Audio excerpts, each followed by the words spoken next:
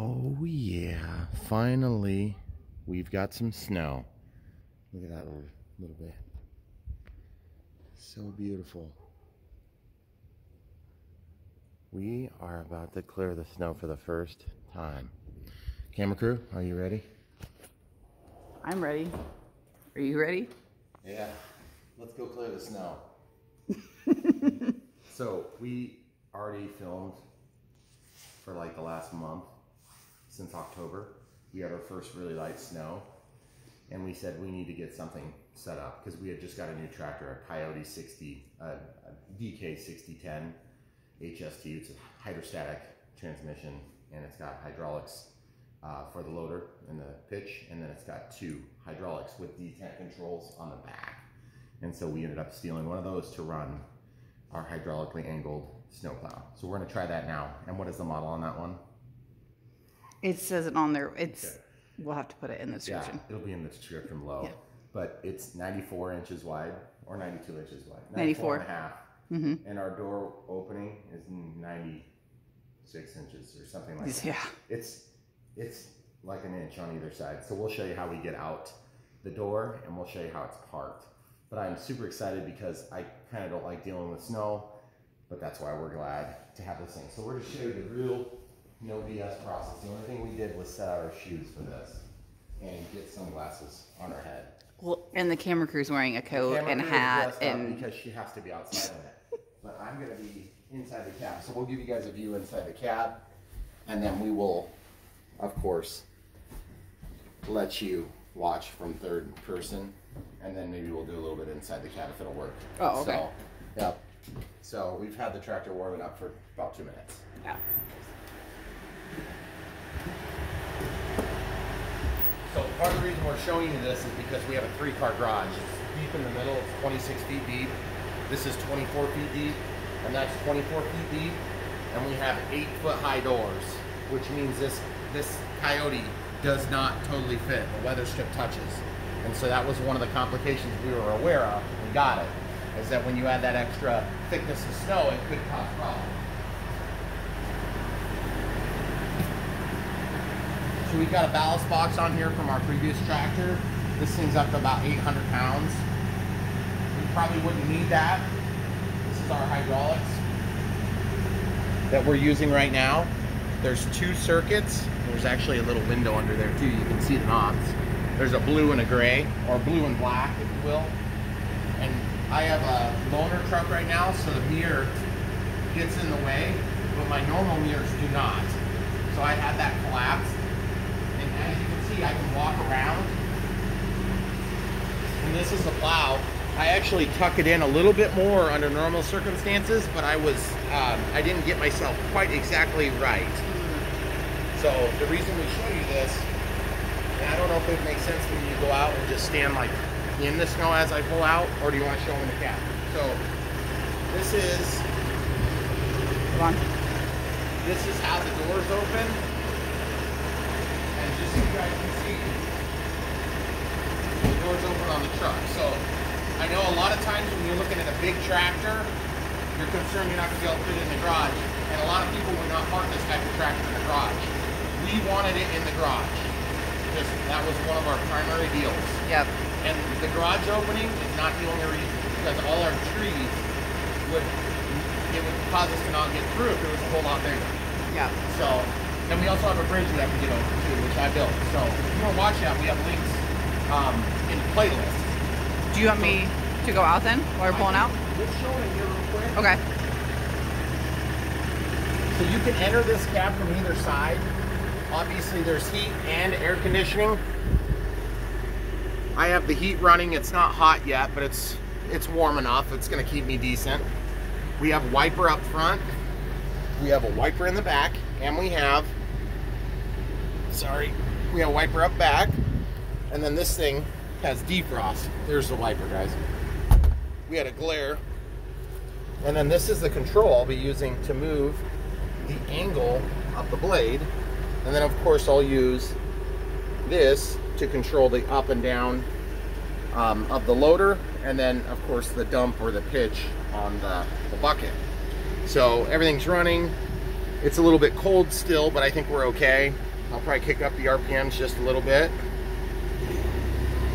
Get those going. We've got lights set up, so we'll be able to do this in the dark. I have a ton of lights on the outside now. It came with a lot of them. And then of course the front lights. So for clearance a lot of times you're doing it in the dark. And then of course it's got a stereo and you can feed in on auxiliary so you can listen to music or you can turn on the stereo, but I'm gonna turn it right back off because I don't want copyright issues. So we'll try to get you a first person view, um, but we haven't had much snow. So here's the third person view. Thanks, camera crew. Okay. I'm gonna go out, and watch it pull out. Or you could probably stand on there and watch it. So whatever you think's gonna show getting out. I'll go out. It's fine. Okay. So I'm gonna step over everything here. So there is a little bit of a drift kind of right here in front of the door, which is one of the things that Brian was talking about, is we wanted to make sure that that bump wasn't going to cause an issue height-wise. It's an SP240. You can see the model number. It's from Titan Attachments.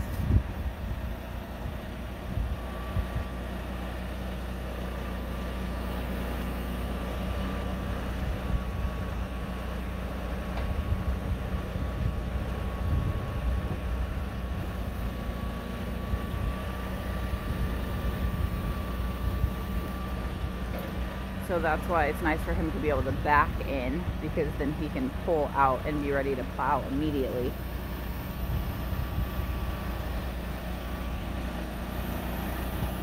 We have a fair amount of drifting, but we did get several inches overnight, probably as a grand total. And this is the first time that we've used this, that he's used it.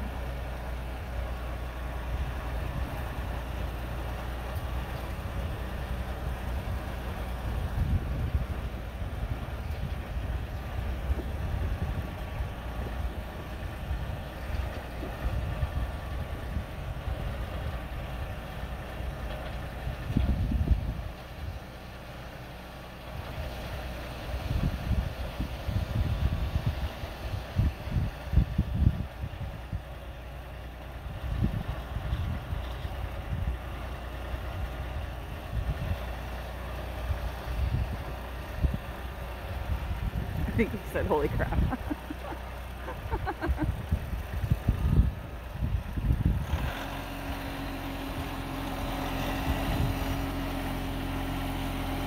oh, he said he can't even see the driveway, so he's gonna have to figure out. We're gonna maybe have to get like some snow sticks or something. he's way too excited about this, by the way.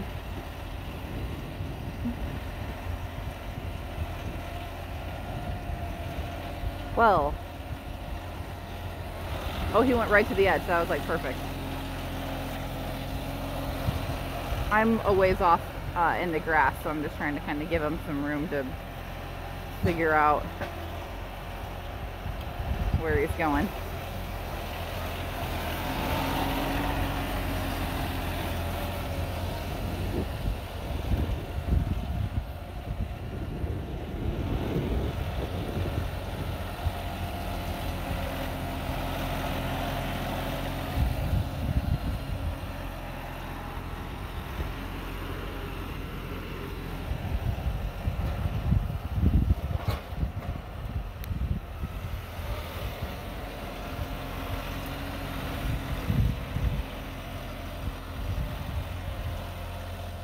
trying to find the curve there, I think.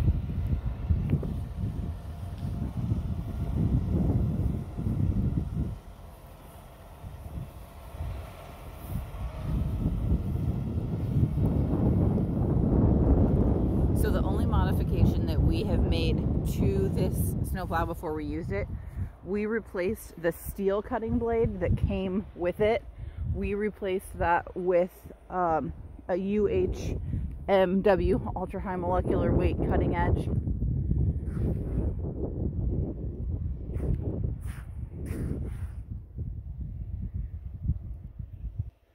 And that seems to be working really nice. Our concrete is um, about a year and a half old. And so we wanted to keep it in good shape So we opted to switch out that cutting edge.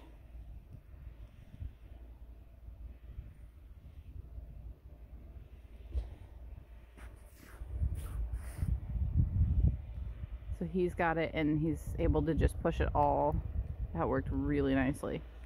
So I don't know if he's going to turn around. It is actually really slick under this stuff, so I'm going to attempt to not fall while I'm filming. But you can see here, I mean, that's, that worked really well. I'll kind of try and walk down here a little bit so you can see. It's going to obviously take a little bit more to clear the approach because it's the widest, second widest from the driveway that's right in front of the house. But it made some big, these snow piles here are knee high on me.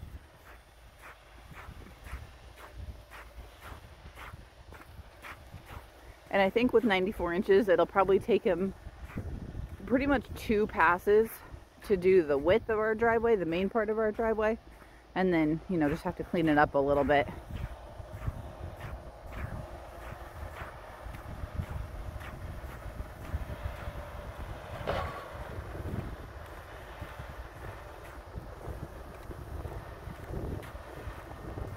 The other thing that's nice about having a big plow like this,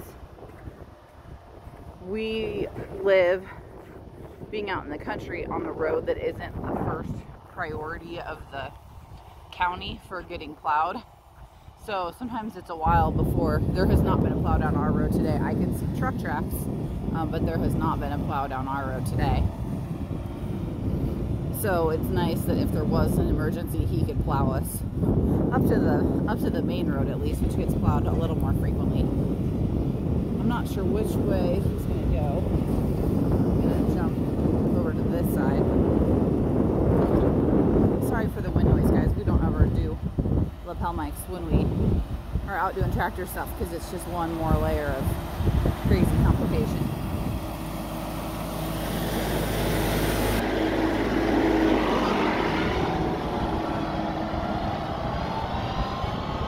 So he was right on the edge that time, so that was great.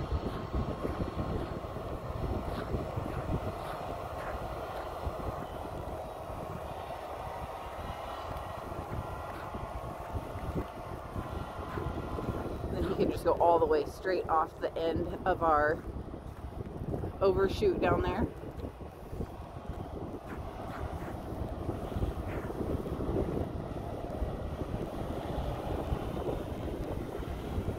It's probably going to take him a little while to figure out what his pattern is going to be. I know last year was our first winter out here, and once he had done snow a couple of times, kind of knew what he wanted his route to be. It didn't take him very long at all. And this is way better. Last year he had a small, I think it was a 54 inch, might have been a, I think it was a 54 inch plow on our zero turn. And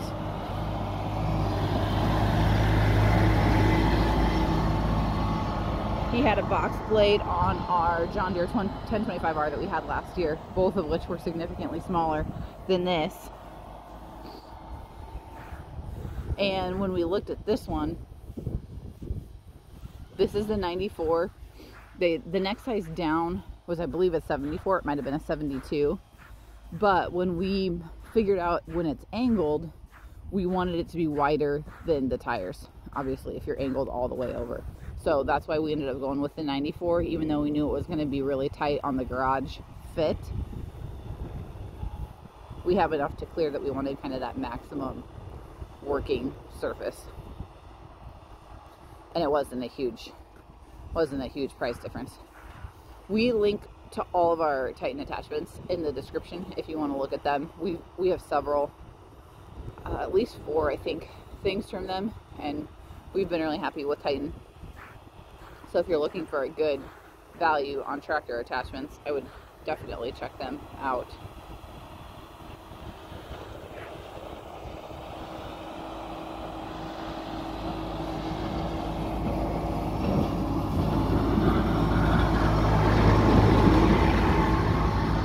So he's just cleaning up that one edge again. So he pretty much has both sides all the way down. Let's look. Um, I'll probably have to do a little bit more at the approach there, but that's the whole driveway for the main part of the drive.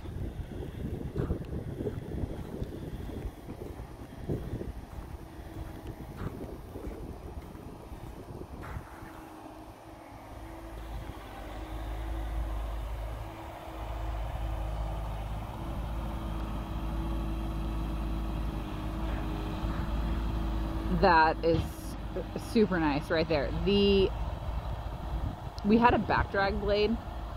That's right, we had a back drag blade last year and we had a box blade for snow on our 1025R, but the back drag blade was just stationary. So if he needed to change it, then obviously he had to get out and change the angle or he had to just deal with it at the angle that it was at. So to be able to sit in there and just flip back and forth is going to make it a lot easier to clear this big section right in front of the house. He's gonna have to find the curve and find the edge.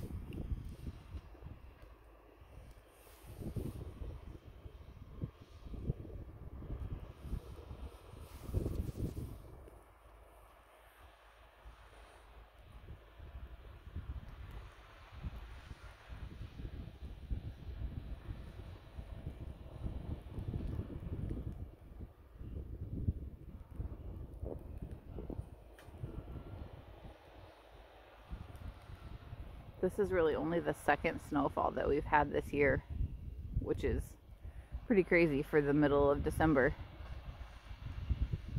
A couple days ago it was almost 60 and now we have six inches of snow.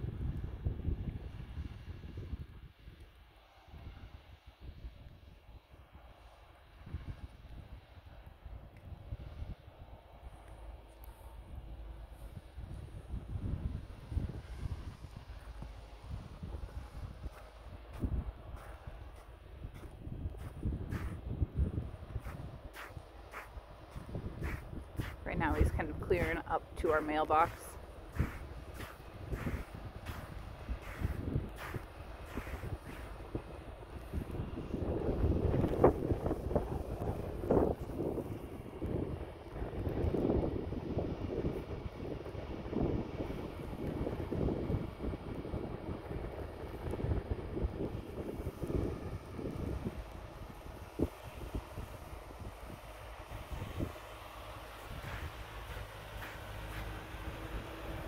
Come up that side and get that edge again.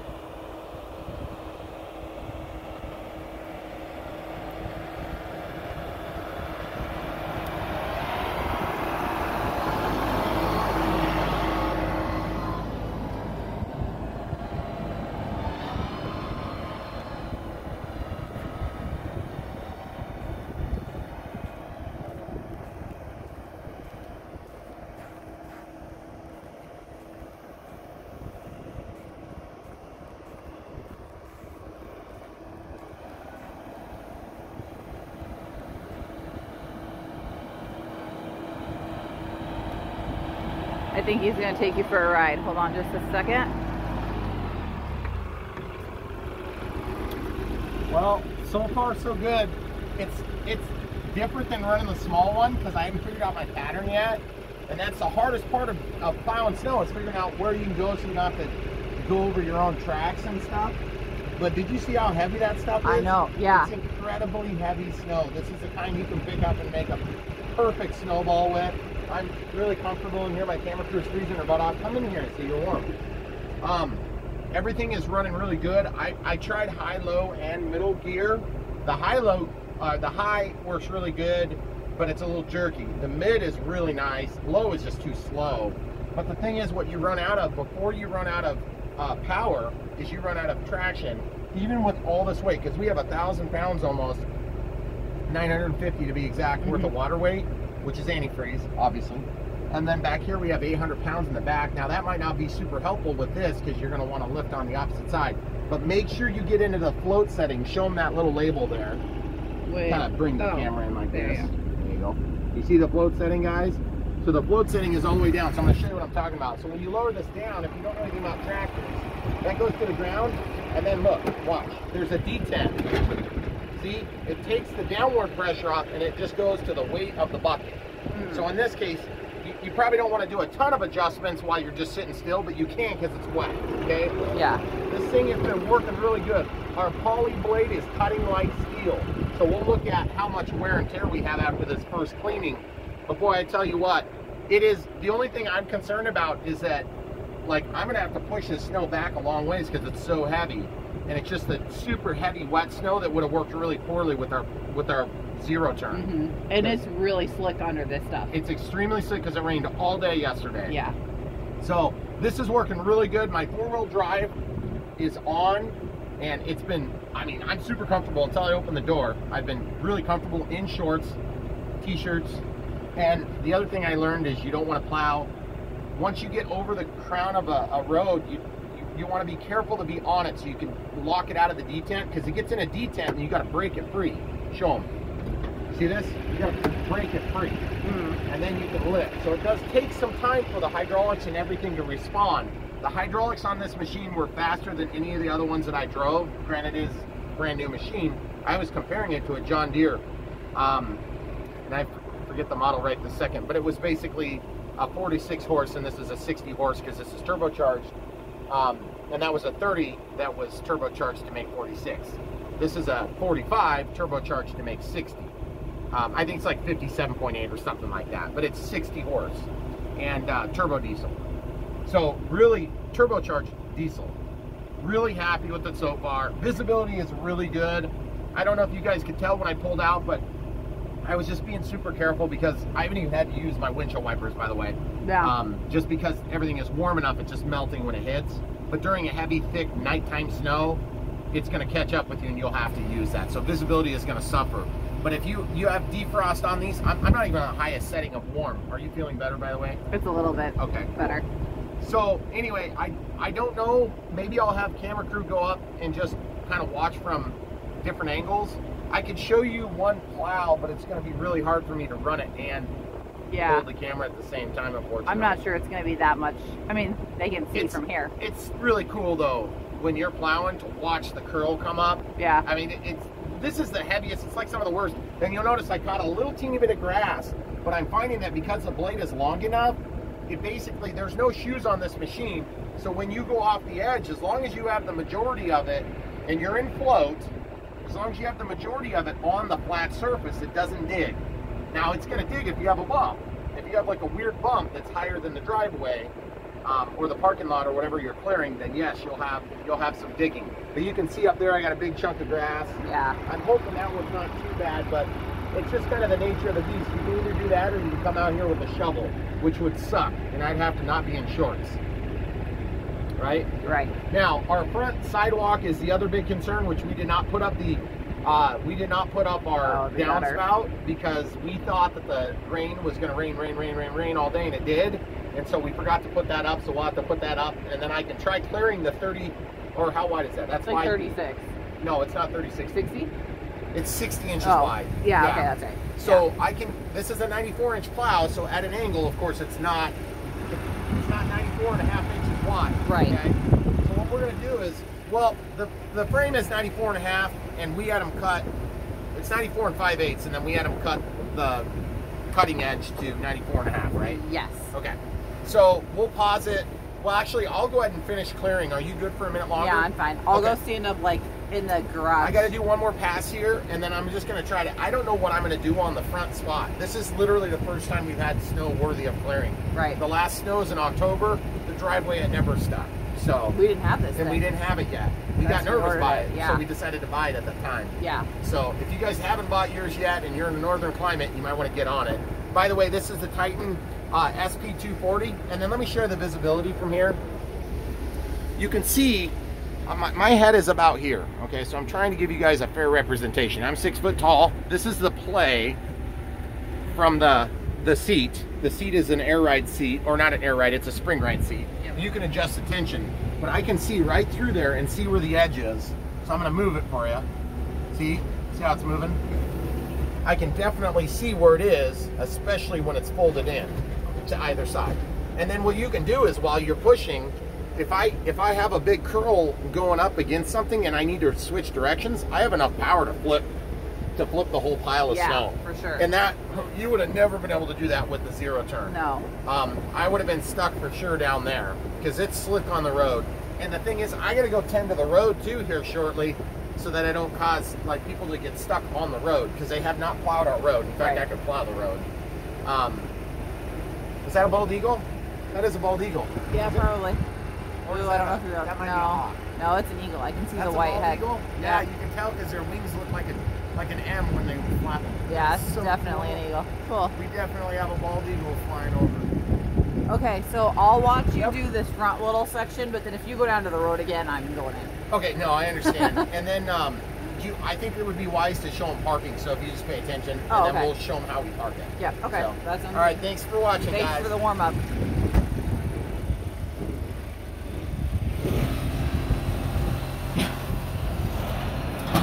Okay, so he's going to do this one last little spot down here at the end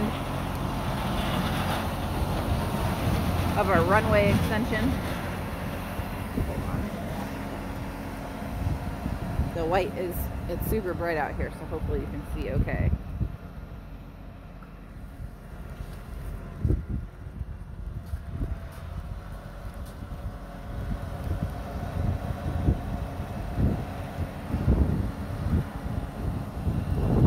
It's pretty hard to know where the snow is today. The driveway, usually we can tell because we have an edge already built.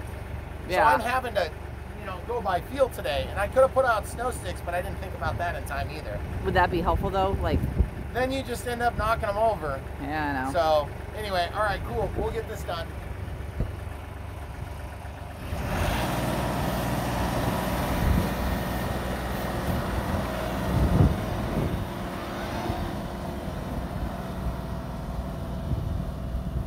The nice thing about this poly blade and being able to get it cleaned off right away, even though it's still currently snowing, if the sun comes out, it's going to warm up our driveway enough that it's going to melt a lot of this off. So it is nice to get it off of here, get the majority of it off of here, even if we have a little bit more snow this afternoon. I don't think it's supposed to snow all day, so if it would warm up, this would probably be all we would have to do for the day. He's even able to get up there and get the sidewalk over there, which is nice because our garbage can is over there.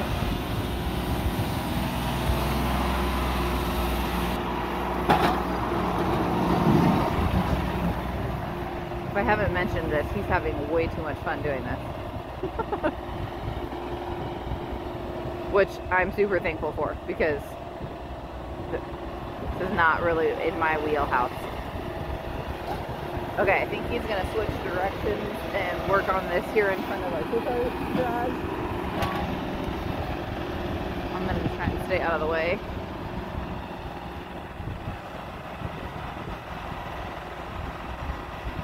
And hopefully he won't forget that the gutter is still down.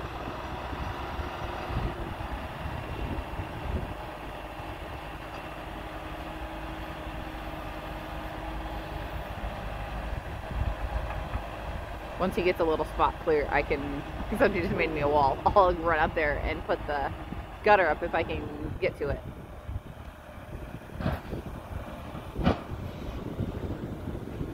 Usually once we get into winter, winter, that stays up. But it did rain. It rained all day yesterday and then changed over to snow um, maybe around 11 or so.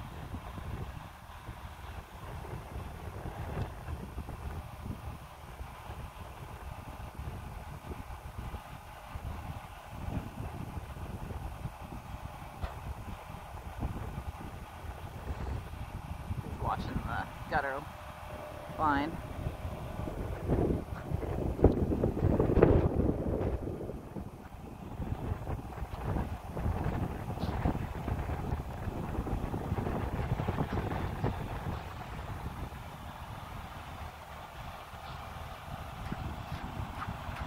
Yeah.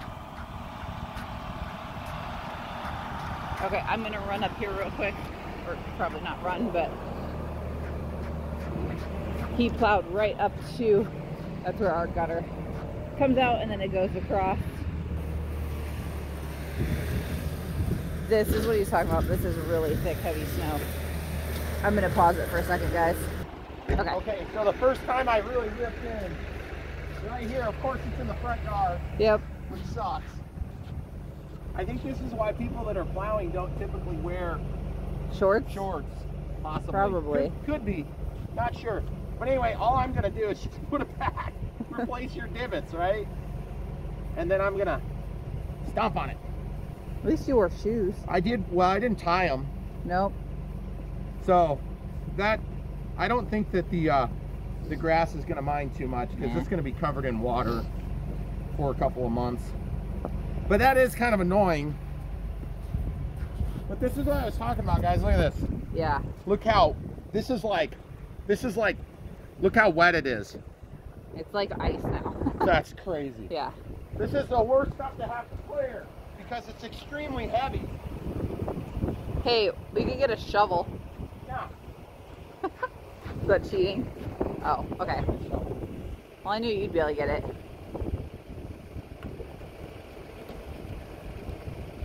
Just got to get that stuff knocked off so I can set it in the zip tie. Okay. And that's good enough. I just didn't want to tear that up. Right. And I'll just err on the safe side. But look, I mean, look at the walls pushing. It's just, Yeah. it's doing it like it's nothing. And then I gouged, I gouged into the ground there. I don't even, it doesn't even feel like it's wearing. That's crazy. That's awesome. So weird too, 'cause this stuff looks like glue inside. Yeah, it does. I was noticing like that. a- like a, Like a like glacier. glacier. okay, I'm freezing. Okay. I gotta get back in. I should have put gloves on for that stuff. I'm gonna go back here. Out of the wind a little bit so you have to listen to the wind. I don't have to yell at you the whole time. Okay. We'll watch him do this little section up here.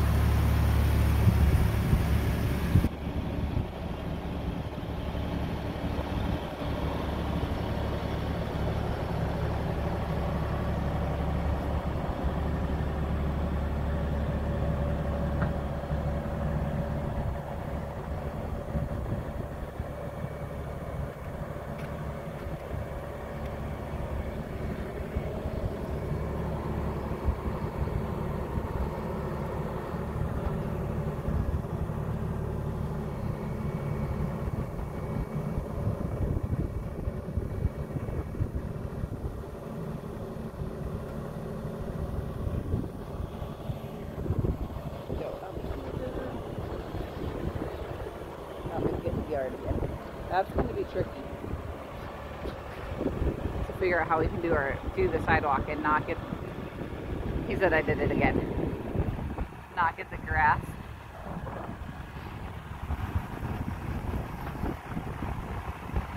Not get the grass and then not get the rocks that are on the other side of the sidewalk.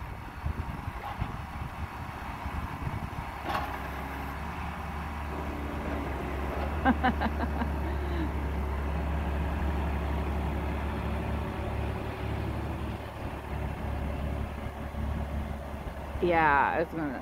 That's what I was thinking. Take a little chunk. That is really heavy snow.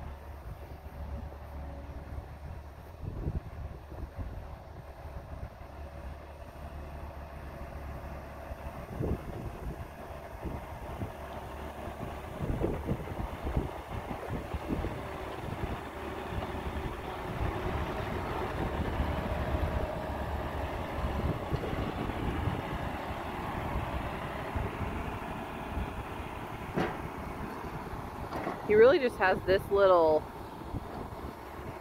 trapezoid here left for the most part to be done with the main drive.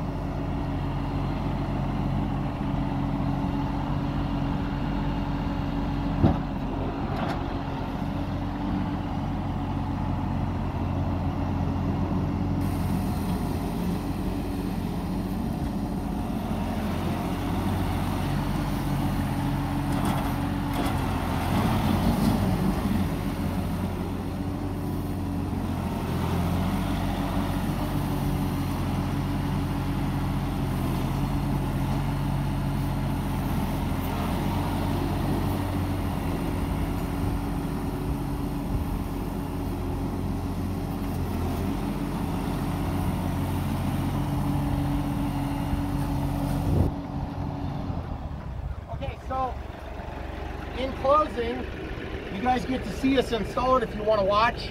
We'll have that at the end of the video. Obviously, for our little stretch of sidewalk, we're probably not going to be able to use this very well because without any sort of a shoe, especially on the right side, we're going to have a, a high propensity to digging in, which is not good. That's kind of a bummer. Uh, the smaller blade, they have one that's, uh, I think it's 72 or 76 inches or something like that. That might be better if you know you've got a big spot that you want to clear like that. Um, we also have a smaller 42 inch or 40, what is that other one? 48 on the inch. side, yeah. Yeah, we have one on the zero turn if we really wanted to do it all. But a small area like that might be better to just, you know, drive up and down and pack the snow and then I can clear it. It's just crazy because if you do the right angle, it basically just follows the contour of the, gra- the ground. And uh, because we have our concrete installed right, there's wash away from it everywhere. Except these areas where it's flat and this thing pivots just enough that it wants to dig in on the right side. So we could also install some shoes and that would resolve that problem. Even just on this side would all, we don't really need it on the other side because we're never gonna clear the other direction. Right. So really happy with it so far. Um, also, this is, I'll show you real quick how we tuck this in. When we're parking it, just because then I don't have to, you guys saw I had to actuate it two different directions while I was running. So we can bring this thing all the way upside down. It's not hitting, is it? Nope. So that's just stopped. And you can lay that on the ground if you want. I typically just uh, let it relax onto the concrete floor, but this stuff has texture on it. It'll stretch and make Yeah. that's smooth in there. So really, really happy with it. The tractor has tons of power. Um, we have, you run out of traction you know, when you're really, really, really, really got a big, I mean, the push has to be about twice as tall as the bulldozer blade. And by the way, this is marketed as a bulldozer. I'm not sure exactly why they do that. And I can see why you would use it as a bulldozer after having pushed into the grass a couple of times. Uh, but that being said, this Kioti's been great. We love it. Everything we've used it for, it's done a great job. The install on this thing was much easier than other installs we've done. Yeah. And yet it was still a little bit of work. We went between our different hydraulic fittings at the end and we waffled a little bit and we'll show you why at the very end of the video. But stick around, come back for more. We know that the uh, agricultural stuff doesn't quite get as much traction as the RC stuff, but it's a big part of our lives and we want to share it. We know a lot of people are looking for this information and we were those people uh, just a few short years ago. We were trying to learn all this stuff. So YouTube is a great place to learn about these very expensive pieces of machinery that you don't want to have to buy twice. And we still are. I mean, we don't. We Yep. didn't grow up doing this. We don't, we've learned all this as we've gone. Yep. So we're figuring it out too. That's right. So thanks for watching, guys. My camera crew is freezing, so I'm gonna let her go. Come back from our, our stay for the build or the install and uh, hydraulic install and all that good stuff. And maybe you'll pick up something you need to know before you go ahead and order. And by the way, if you're gonna order that thing, there's links in the description below. You will greatly help our channel by buying equipment like this from the links, and we really appreciate you coming back to watch another video. Okay. Okay, guys, if we die, tell our kids we love them. we are gonna we're gonna clear a little bit more of this road. Um, if the DOT is watching, I claim ignorance. so I just want to show you guys that this thing works so good. So normally we don't run with two people like this, and yes, we are both seat belted and legally uh, on legal seats. okay, so here we go. We're in high gear. I've got it down, all the way floating and then I'm just gonna give it all, you know, not all she's got, but you guys see how nice that does? And I don't want to get too close to the edge because I'm kind of in an awkward position myself. you can see I'm going, I have no idea how fast, probably not very fast, but if you had a really long drive, you could totally clear the, you could clear your driveway without any problems at all. Um, visibility is really good. I'm super comfortable right now. Um, obviously if the DOT shows up, I'm gonna have to like quickly drive away and hide in my garage. But um, because this is, I don't, I don't think they probably like me clearing the road like this. But that's okay because uh, they didn't clear it. So I'm gonna try to kind of crank the blade over as we go. Okay, here we go. Now I'm in high gear, so it's gonna be a little bit weird the way this works. Okay, you see how I'm slipping? That's okay, because I'm going to go to the ditch with this load, okay? Okay. And then I can flip the blade super fast. And then I'm going to get down here and just cut. And if you don't float, your wheels are going to lift on you, okay? Little easier without two people in here. It's not really cab designed for two. But that's okay. I mean, as long as you like the person you're with and they don't smell too bad. But you can see I'm not really pushing it too hard. You see I'm at 2,200 RPMs and I could go up higher and my gas pedal's about 50% pressure. But um, I'm getting up close to this ravine here so I don't exactly want to die. So I'm just gonna, I'm just gonna kind of favor toward the middle of the road because I'm a chicken. You fill in the blank. Show them down there as we go by. That's our creek right now. It's so cool. That's where it feeds the back. Okay, that's one of the two tributaries. Let's go up to the next. Do you want to go up and turn around at the cemetery? Not really. Okay, well then we'll turn here. This this looks like a good place, non-suspecting home. Okay, so we're also in high gear, so I'm gonna go to medium gear. Medium gear seems to work better. My camera crew is very much all up in my business right now, and uh, not in a good way. So as you can see, it's very easy to control the, the tractor. If you can do this with two people, then uh, you can do it with one person very comfortable. But it's nice and warm in here, isn't it? It is. So obviously we can uh, take the pressure off and then lift the blade. You'll see it's totally clean there, so there's nothing that got dragged. And then one thing I plan to do before I take it inside just give her a couple of racks back and forth. And then obviously roll it under and just make sure I don't have like tons and tons of water and stuff on there. Give it a couple of kicks, which is probably real easy on everything, I'm sure. But you can see you can get that thing through a tight hole like this or like this because it, it's not as wide as it would have otherwise been. So that's one way you can park too is you can lift this up and you can go through a doorway and that might be worth considering, but I think we tried that, didn't we? Yeah. So we'll show you parking. Okay, I'm gonna kick it out of four-wheel drive because we're pretty much where we need to be. Um, there it goes. This this tractor is way easier to get in and out of four-wheel drive than the 1025R was. You kind of feel it just like you do with other small tractors, and you can see a little bit of wear on that blade. But guys, that's like that's a third of a mile I just cleared on a uh, pseudo public highway. Are you parking with me in here? Am I? Yeah. Why? Is that a problem? Do you not want to be here with me when I park? It's just super comfortable. Well, how about this? We'll pause and reset so my camera crew can get off. So here's the little bit of wear. it like actually just like peels off. No, hardly any at all. That's crazy. Okay, so we're gonna back in and park. Okay. I'll stay out here where it's more comfortable in the snow.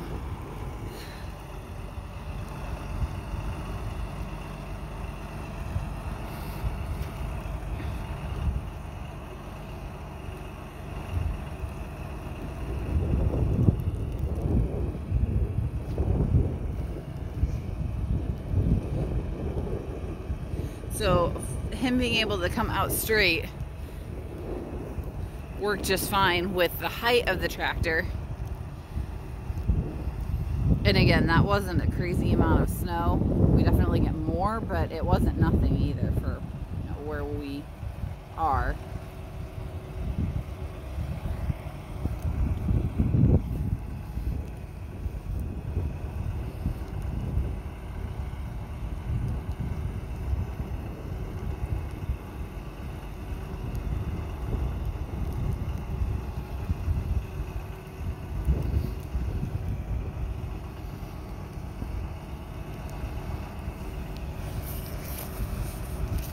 So he has to watch a lot of stuff in our in our three car garage.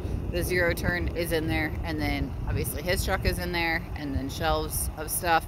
We've got it pretty well packed full. But like he said at the beginning, being able to have our tractor in the garage is it's a huge thing for us right now. We don't currently have an outbuilding, and even if we do, it would still be nice to have our snow clearing equipment attached to our house so that he doesn't have to get all geared up to go to another garage to get the tractor to clear snow.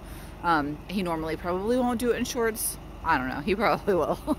but he can, you know, he can just run out when we're in between things and clear quick and not have to get all geared up to do that. So it is really nice to have it in the garage.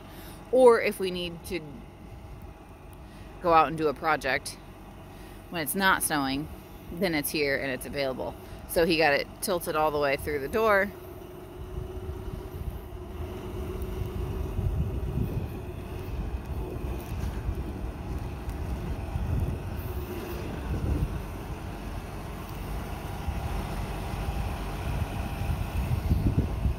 And he can just kind of relax it into position.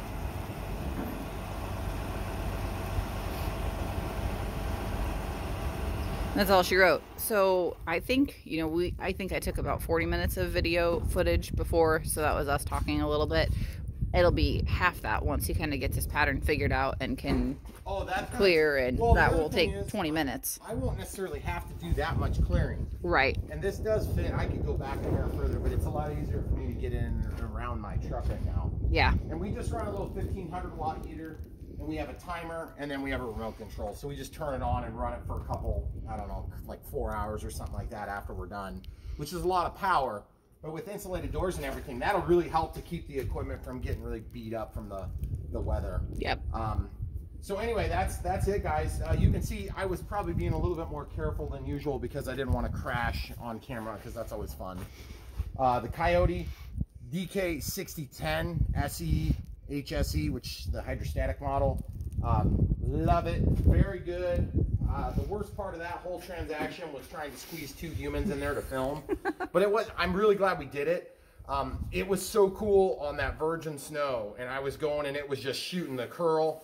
The only thing I learned about this thing is that I may want to do a flap on the top if I'm going to actually honestly try to clear the snow on the on the main road, which I I know I probably shouldn't be doing that, but I don't really care. Well, clear it, and if it was an emergency or something we needed Yep. to get out, you could That's easily. exactly right. And the, by the way, that path is wide enough that you could get a vehicle down. So like if I just needed to quickly clear it so I could get to work and uh, and then just deal with it later, that's also possible.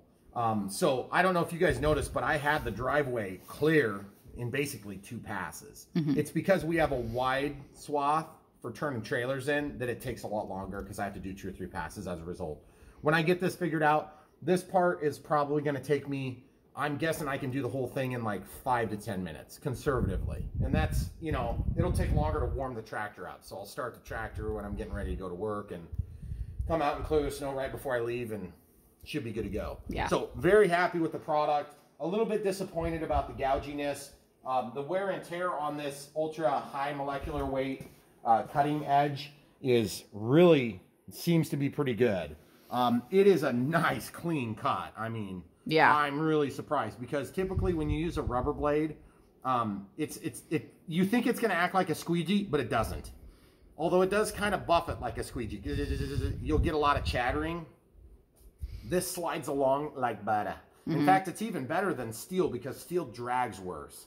Um, and I was scared to death about the float position on this. I didn't know if we were going to run into problems with that.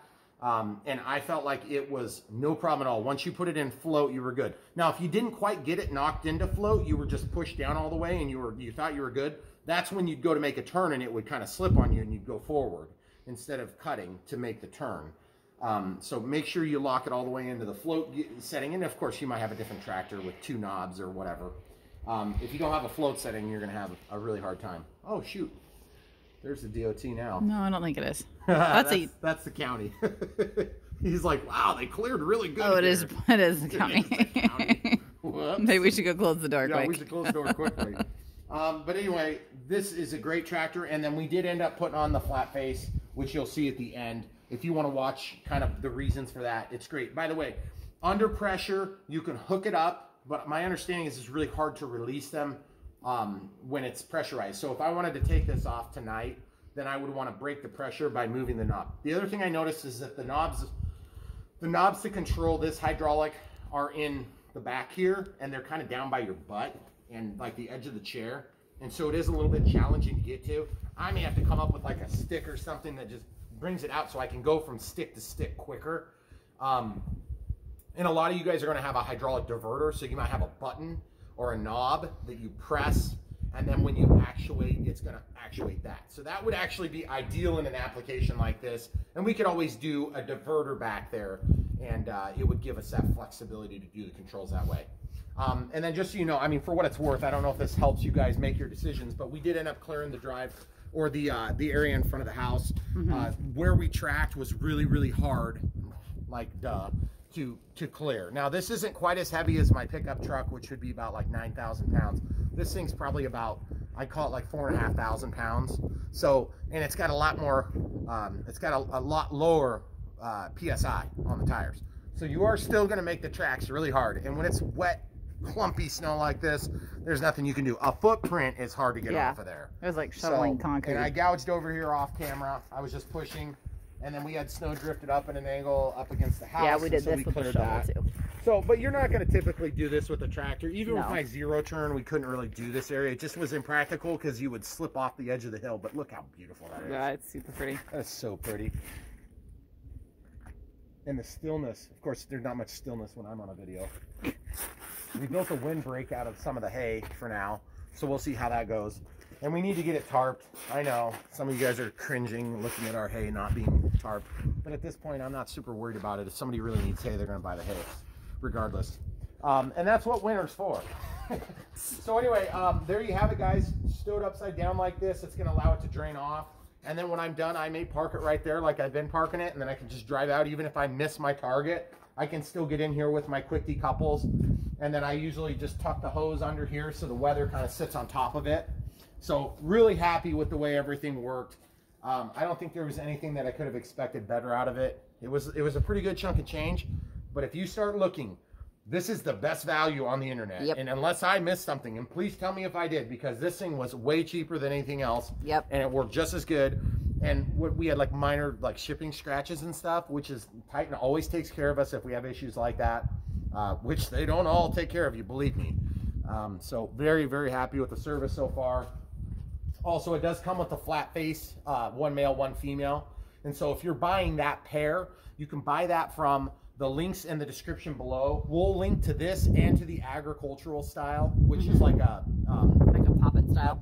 a, a poppet style pioneer, a PT, whatever it is. And we we had a, a three eighths inch hose here, and it goes to a was that a three quarter? I can't remember. can't we remember. talk about it at the Yep. end. So if you guys are concerned about the hydraulics, we go into great detail at the end of the video. It's like the last 15 minutes. um, so anyway, if you guys have questions or comments, put it in a link below in the description, or excuse me, check the link. We might answer some of them. Also, this cutting edge, it's the same material, but that's black, which means it's probably been recycled. It's gonna wear and tear the same. I really, really wanted to give you guys a review of this. And so I apologize if you guys are watching um, the John Deere Z655 zero turn plow and I never actually showed that. It's not because I was trying to screw you guys around. It's just because we ended up getting this machine um, before we actually had a chance to film that. So we've only had one snow. I'll try at some point to go ahead and get a video of that, but I'm not probably going to put my chains on. The rubber chains and uh, this thing are not hard to put on, but it's still like, you know, time. And then if you put the chains on, you have to shim out the wheels. So it's probably going to take me three hours to do that. So I'm probably not going to set that up. When I say three hours, I'm start to finish. Um, well, shoot, it probably took me three hours to put it on from the beginning. I'd say maybe an hour, hour and a half, something Yeah, like that. second By the time around. I sit down, take the wheels off, put the, um, I, I use washers to space out everything. So this is going to be the easier thing for us.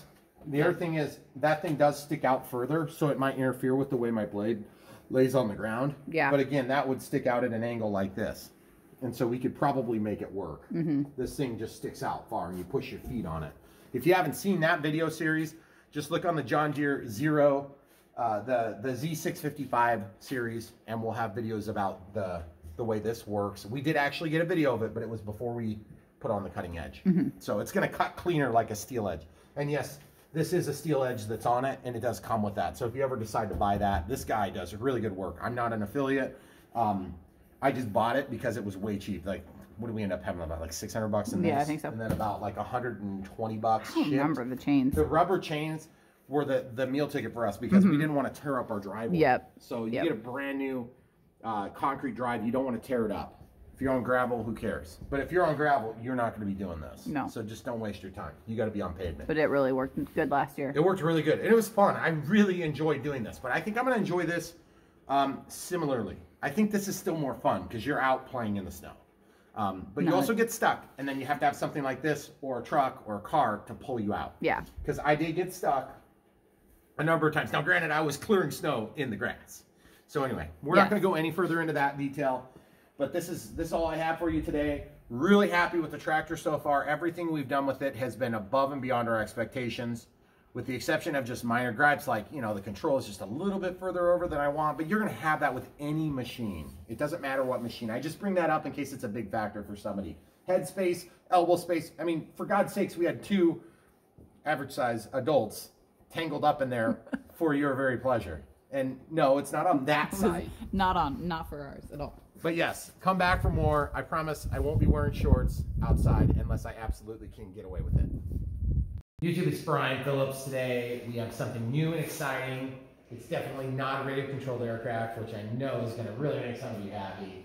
We've got this new Kioti tractor, here, and it's a DK 6010 SE HST, but the loader always blocks that, so I always got to look and make sure I'm saying it right. The KL 5521, of course, is the loader.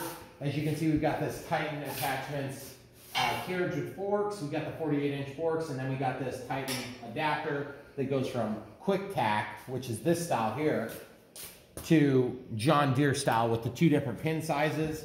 So you can go all the way up to, I believe, like the 5 series um, and below. So we've been using that. It's been working phenomenally. We had to modify ours because there was a little mistake on it, but they took care of us on it. Now we've got another Titan attachment toy. We've done the drum mower. That was ridiculous, but it's actually worked great once we got through the ridiculousness. Now we have this new 94 inch dozer blade and snowplow. So we're getting this um, to take care of our farmland. And so we wanted to show you the unpacking, okay? So you'll notice that somebody already started the unpacking, which just, that stuff really irritates me, but I think it's got a little bit less to do with Titan and a little bit more to do with the fact that every single different style of shipping is gonna end up having a certain amount of demolition that happens on the way to your residence, similar to this, what you see here my cat is playing with. And uh, what I'm doing now is I'm just gonna untie these twisty ties, and I have a 5 8 inch, a 5 8 inch socket there. And this thing is called the SP240 94 inch QT hydraulic snow blade, which is actually stands for Quick Tach. Mm-hmm. Of course, Quick Tach is going to be like what's used on, in our case, a Kioti tractor for attachment points on the loader, or if you have a skid steer. Now, this is actually a skid steer design, and therefore it's got a male and female coupler on the hydraulic line. So that's one of the things that I want to get to here in just a couple minutes, but my camera crew is going to give me my tool.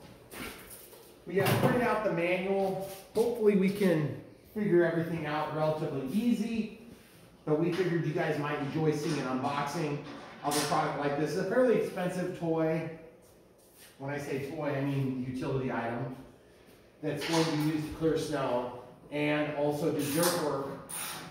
Um, I don't know if we're gonna have to cut in roads or if we're gonna have to take out and do dirt work. You see the cat just went over there?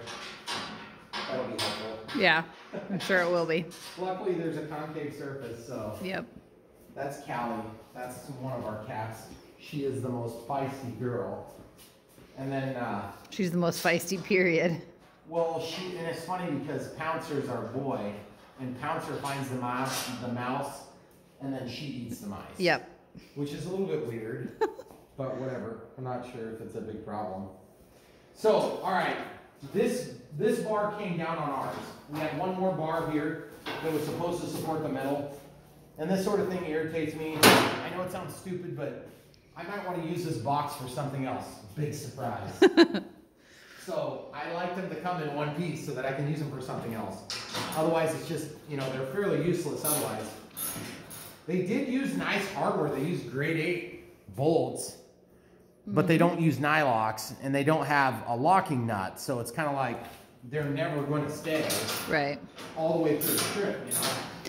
Well, and while you're undoing this, we could mention that this same snowplow comes in three different sizes, I think. Well, it comes in two sizes and with and without hydraulic. Yes. We opted for the hydraulic uh, angling, and the angling is 28 degrees either direction.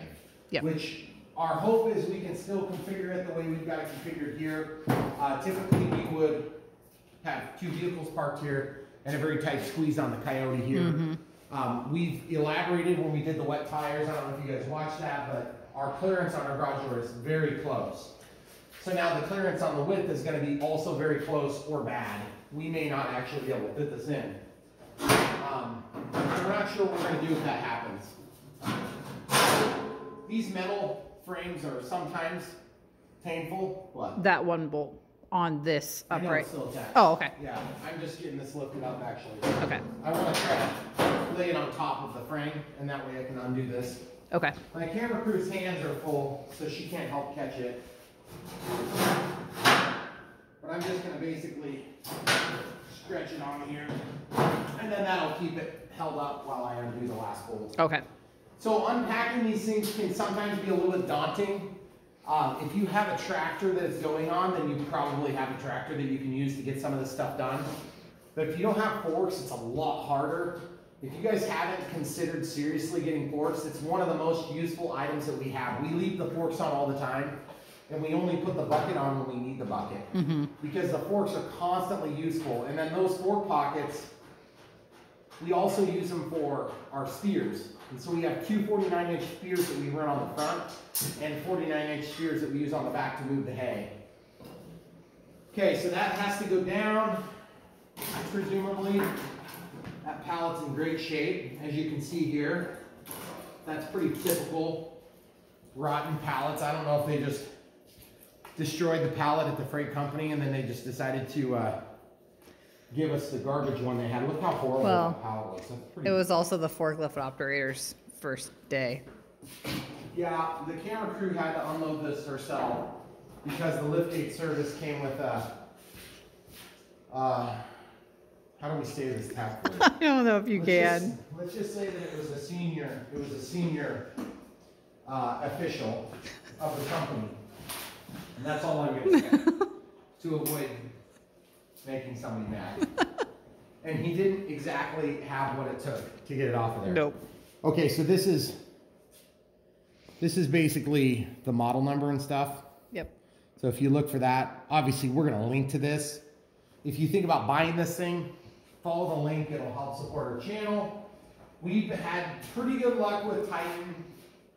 I get frustrated with shipping because I work in shipping companies all the time and I see the amounts of damage that goes, I cannot believe how much stuff gets destroyed.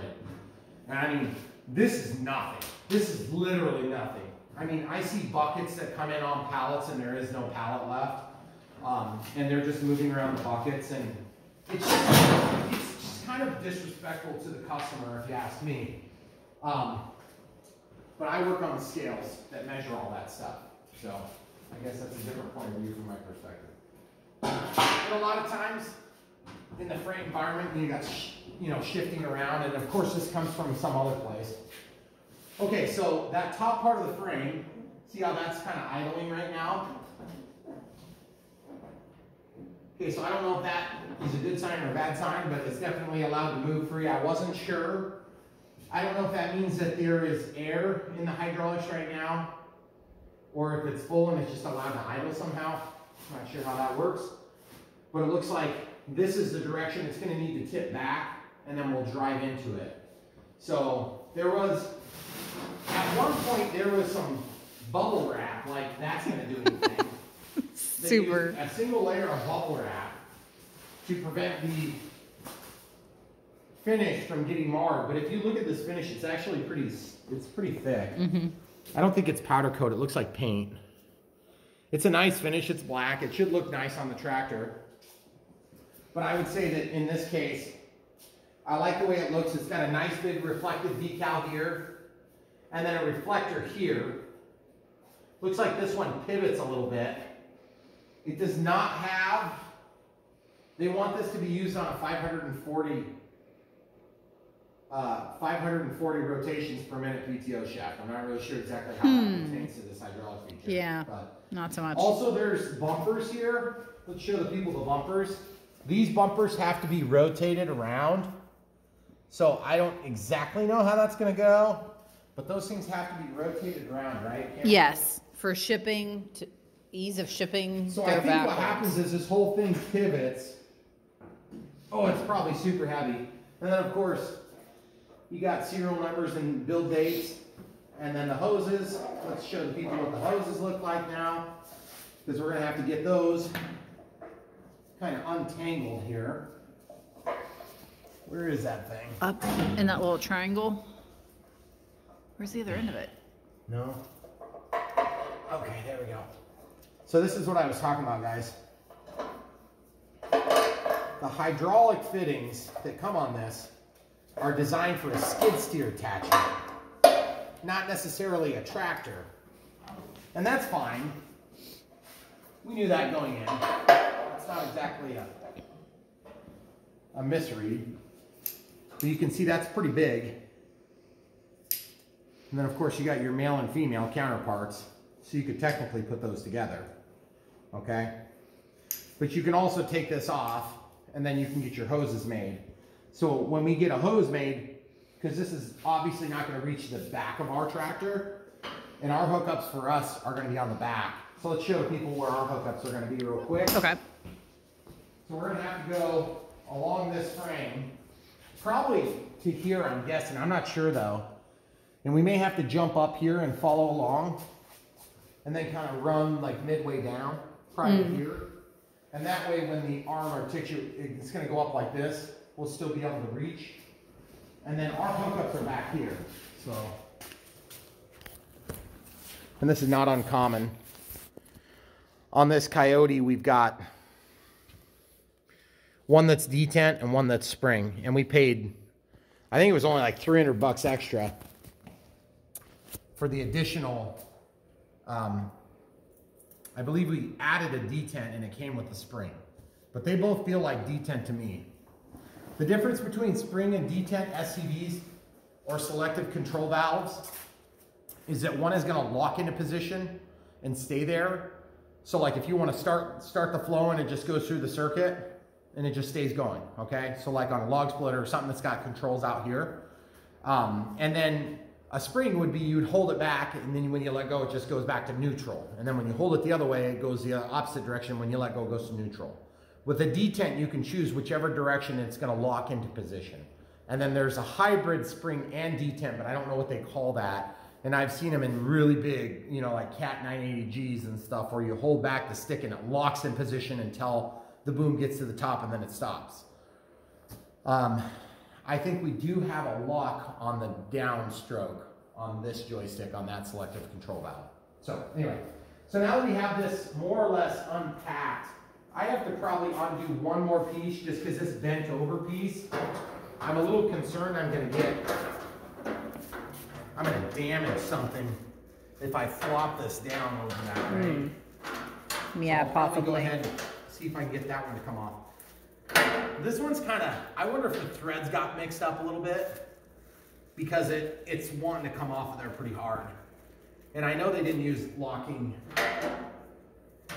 I know they didn't use locking hardware. So, I don't know, I might take a second and we'll get that off and come right back. Okay.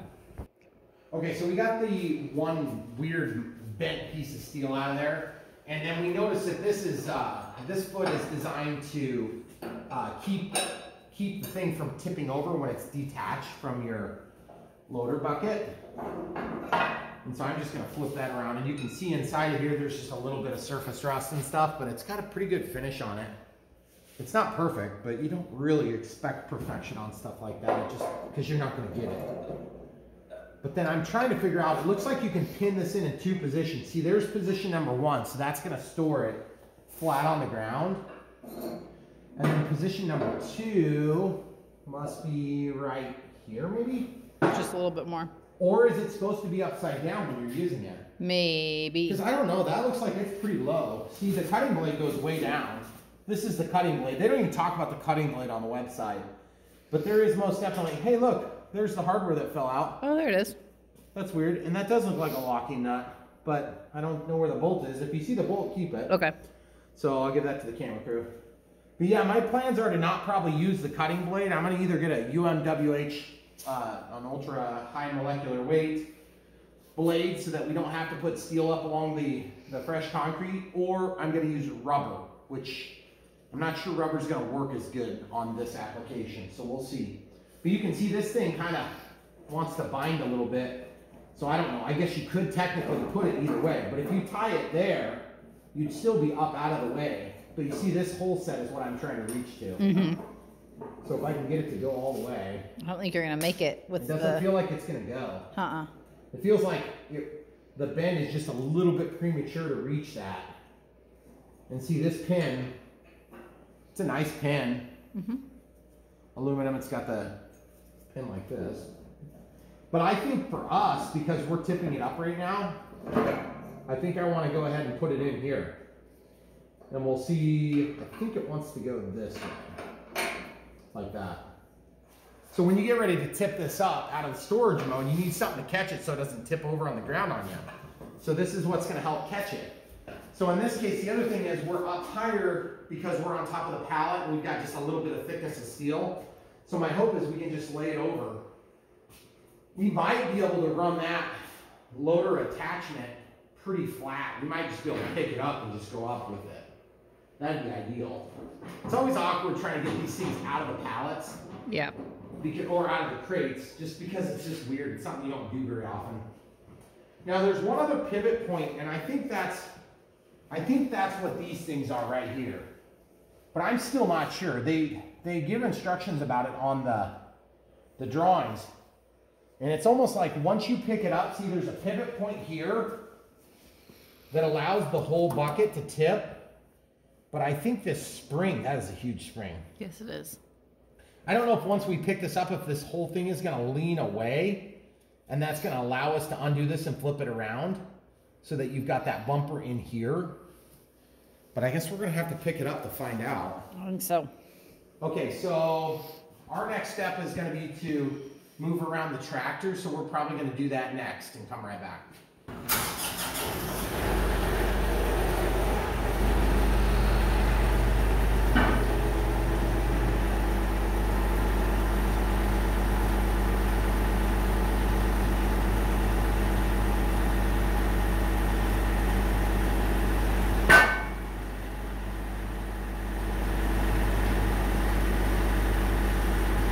So he is gonna go drop the forks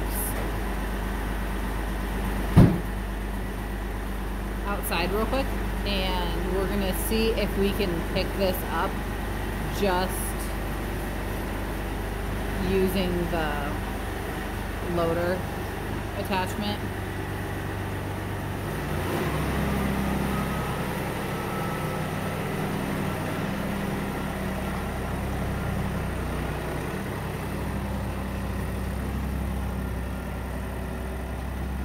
But we might need the forks if we can't get it, if we can't get it picked up. So he's just gonna put them up here.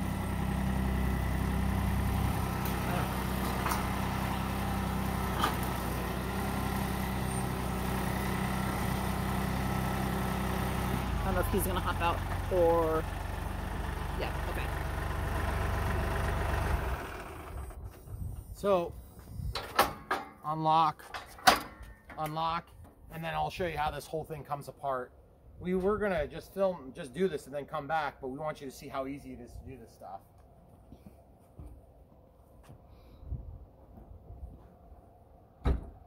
So right now, the only John Deere style attachment we have is our fork carriage. So for the time being, we're just gonna leave that quick attach plate on the forks. And we can just pick up the whole thing, use the quick attach, and it's all just kind of one unit. But if we end up with another John Deere implement at some point, then we have that adapter plate. So that was kind of our whole reason behind that process. So I'm gonna just run around here real quick. Yeah, see, he's hoping it's level enough.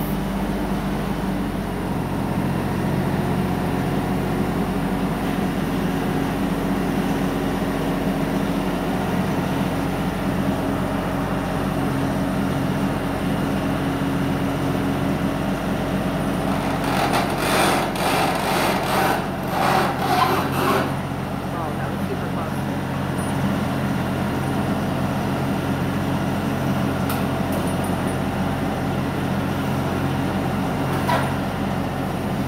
Okay. So we'll lock these into place. And then see if he can lift it up. If I have to help him, I might have to pause. But we'll see how it comes out of this. Great.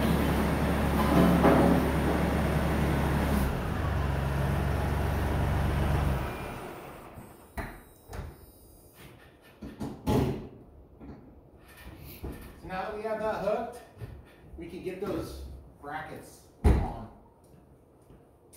So, you see how this gap opened up?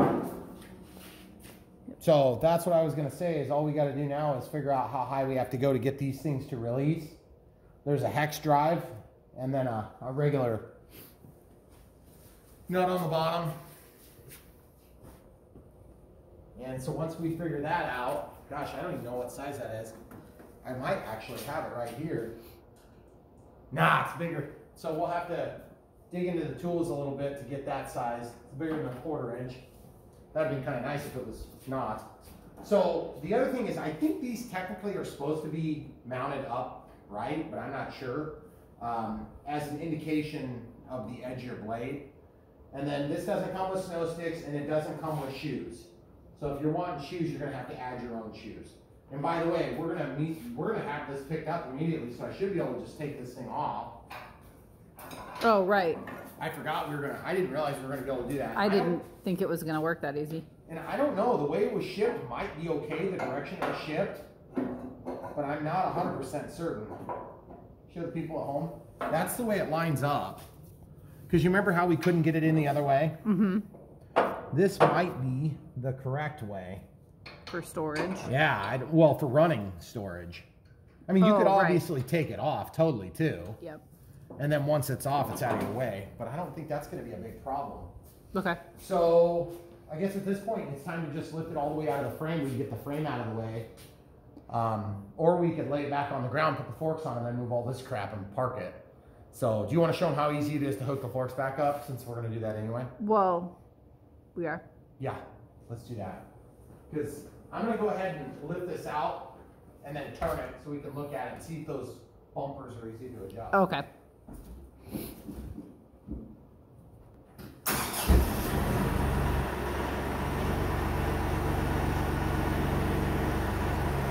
Nice.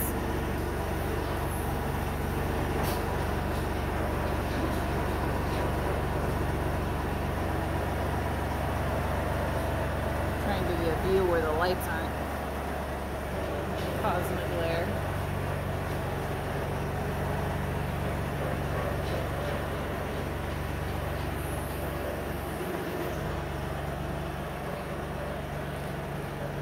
is a little bit wider than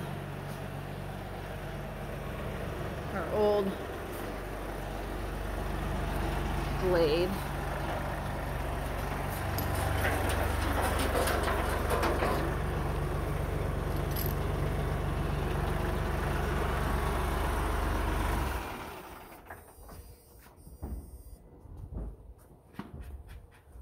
That thing is big. It is. So I was trying to. Oh, look at this. Scratches all over it. See that? Yeah. Big scratches all over the front. Is it scratched or there's not like a protective transport Uh, it's scratched. I just about got cut by that. Great. So why is it scratched? Probably Because that- that was broken? up. So I guess we'll have to deal with that. But what are you gonna do? At least you got somebody to call to deal with it. If it was not supported in the middle like this, it wouldn't be all scratched up.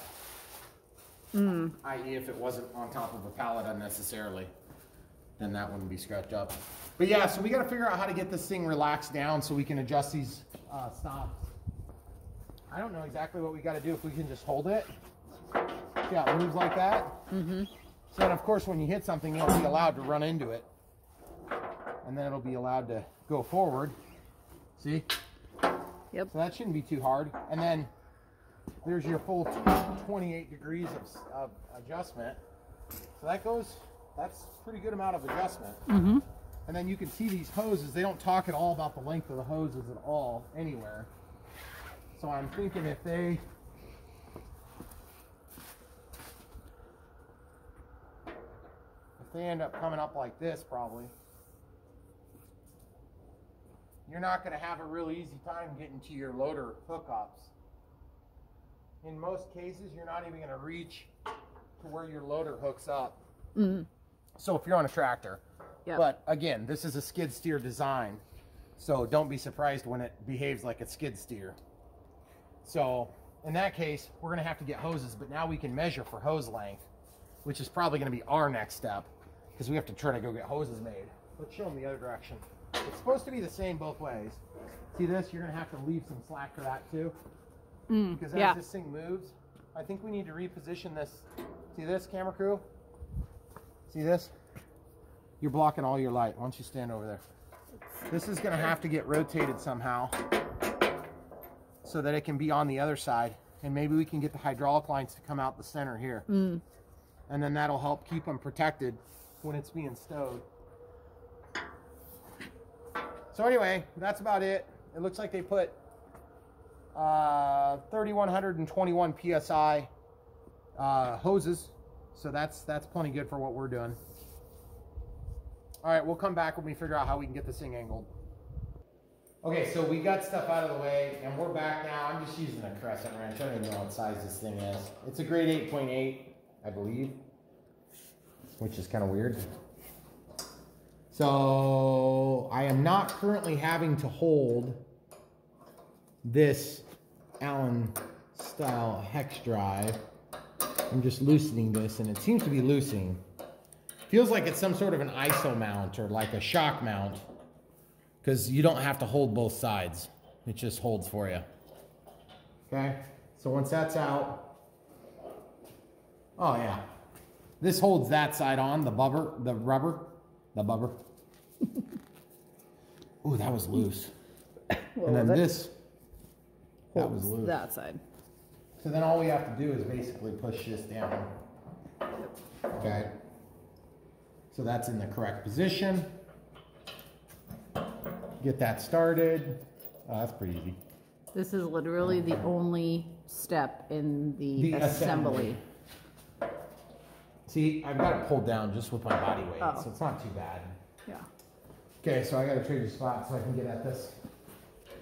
Yeah, there really isn't much assembly on this thing. We wanted to show you the unpackaging mostly on this product because I don't know, it just seems like, you know, like the scratches on this, you know, you're pretty much gonna have that with every piece of equipment you buy online. I don't know how to avoid it.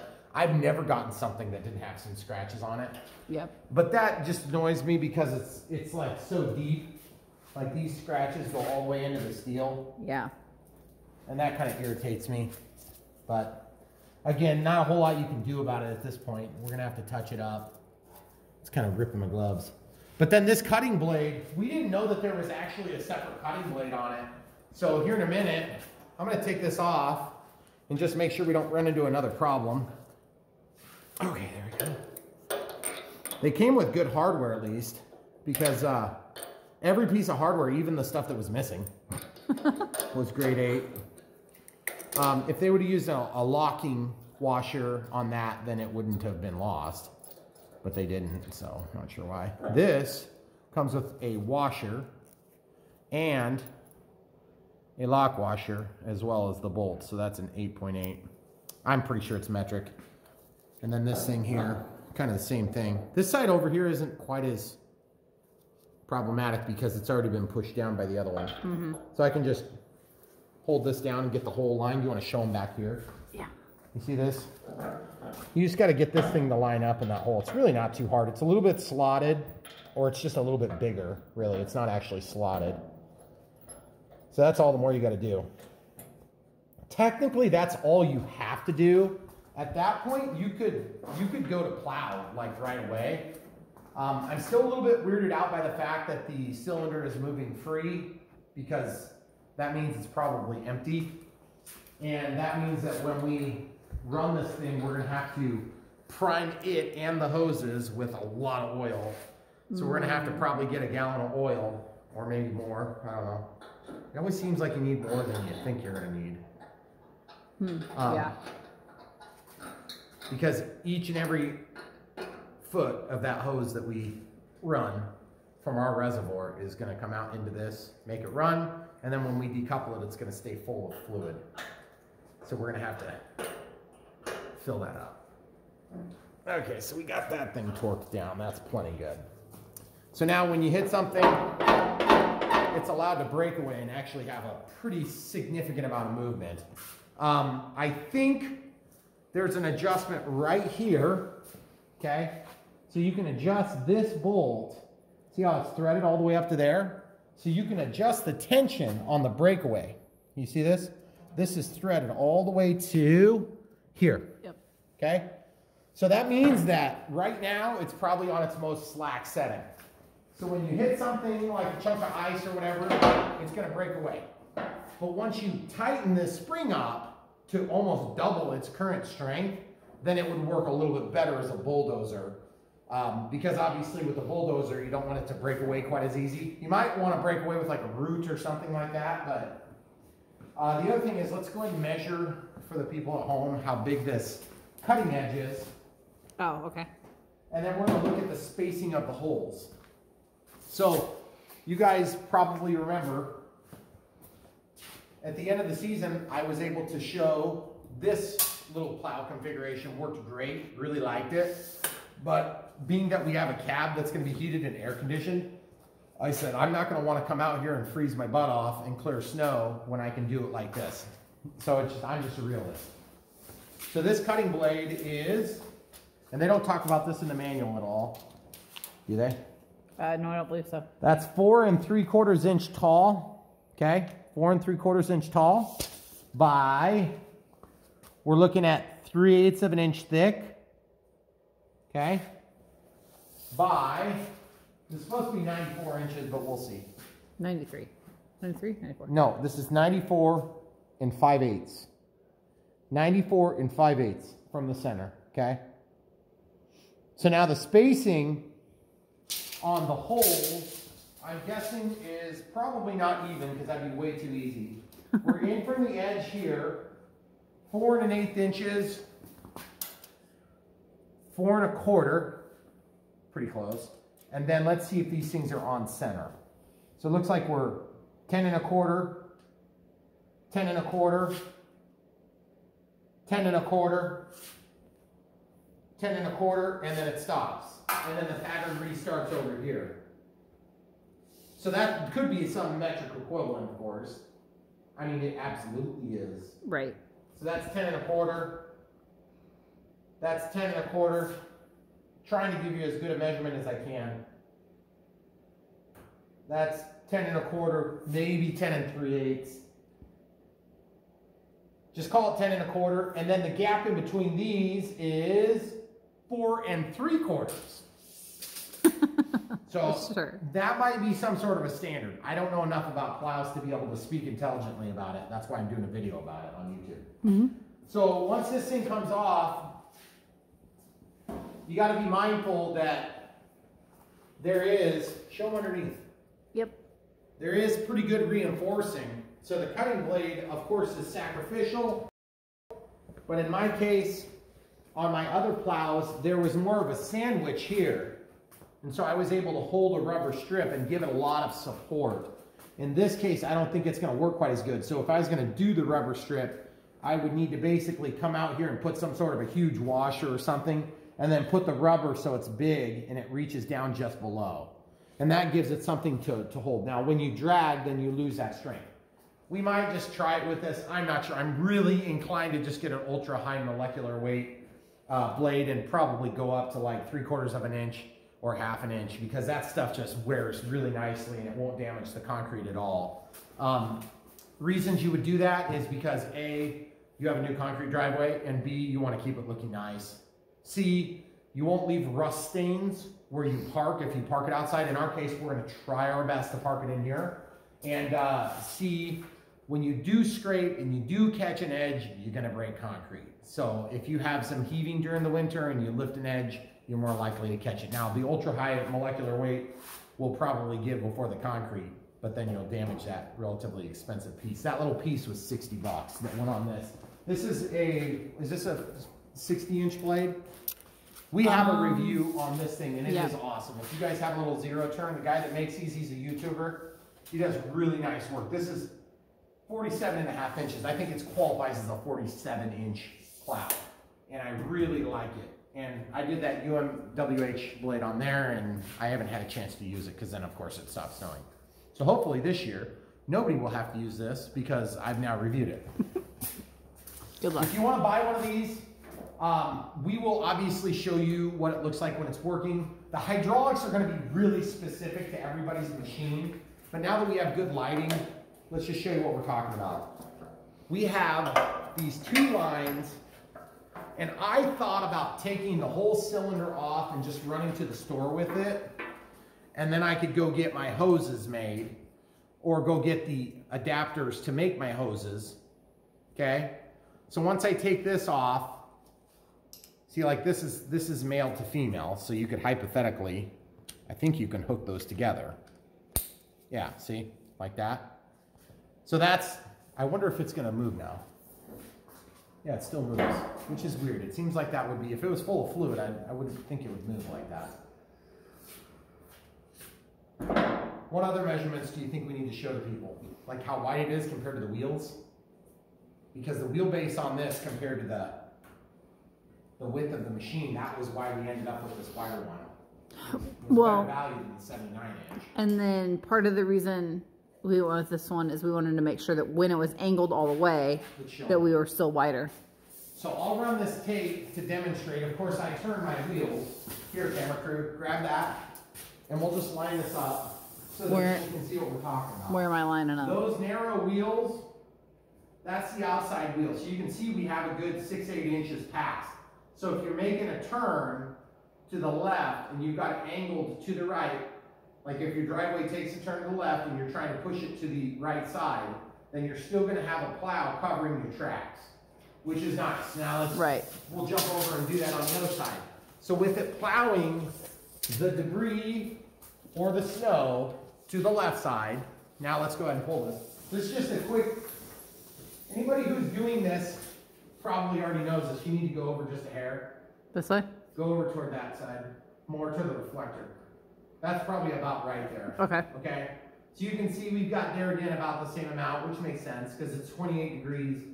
Um, so you've got a good, now I could get a pretty good eye on that. You've got probably a good eight inches of ground space that you're catching before your tires. Now, if you're making a sharp turn, you know, you're gonna potentially miss a little bit. And then you're gonna have tracks that you have to go and clear. So that's not necessarily fun. Now, if you did a 79 inch on this, the width, the wheelbase on this machine is, uh, why don't we just give you an approximate so you know what we're talking about? The wheelbase on this is, let's call it 68 inches wide, okay? So if we got 79 inches wide on a blade, it seems like, yeah, you should be totally fine with that.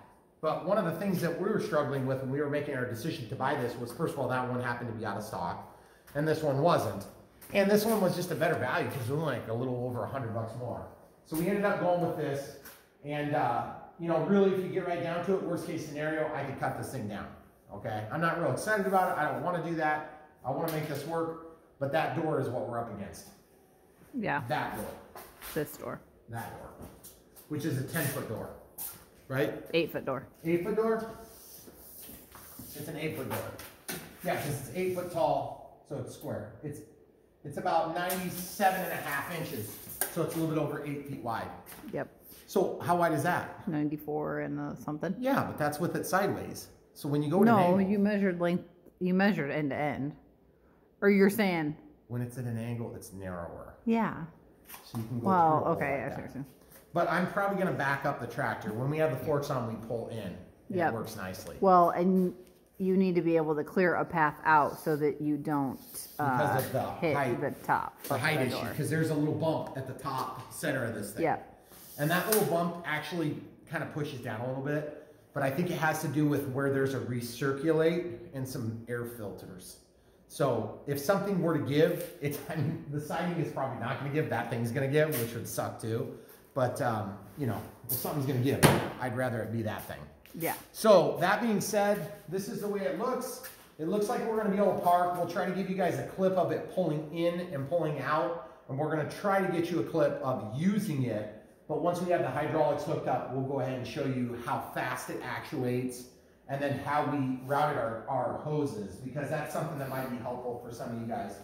Uh, the other thing is, if you're looking at taking this thing off, it's really not a super um, difficult thing because there's actually, let's see how bad it is. What? It, oh, the cylinder. That's like the whole cylinder. Yeah, like if we were gonna take this whole cylinder off, it looks like we just have, oh geez, that thing is really stout. We just have to undo these, these pins. And I could actually replace that with lynch pins if we knew we were gonna be able to take it off for other reasons. Maybe if I had a better tool, it would be easier. There we go. Okay. I was just thinking if I could just take this whole thing off, it would make better sense to just go to the store with the whole dang thing. The other thing is, I'd really like to be able to rotate this and then put that pointed toward the inside and then have these hoses jump out here and go out through here because then they're going to have a nice little area of protection. Because there's ISO mounts here. Well, there you go. Careful, careful, that thing's moving. Okay. So, there you have it. The pin came out, which is what we wanted to happen. I just don't want it to fall. Yeah. So that's simple.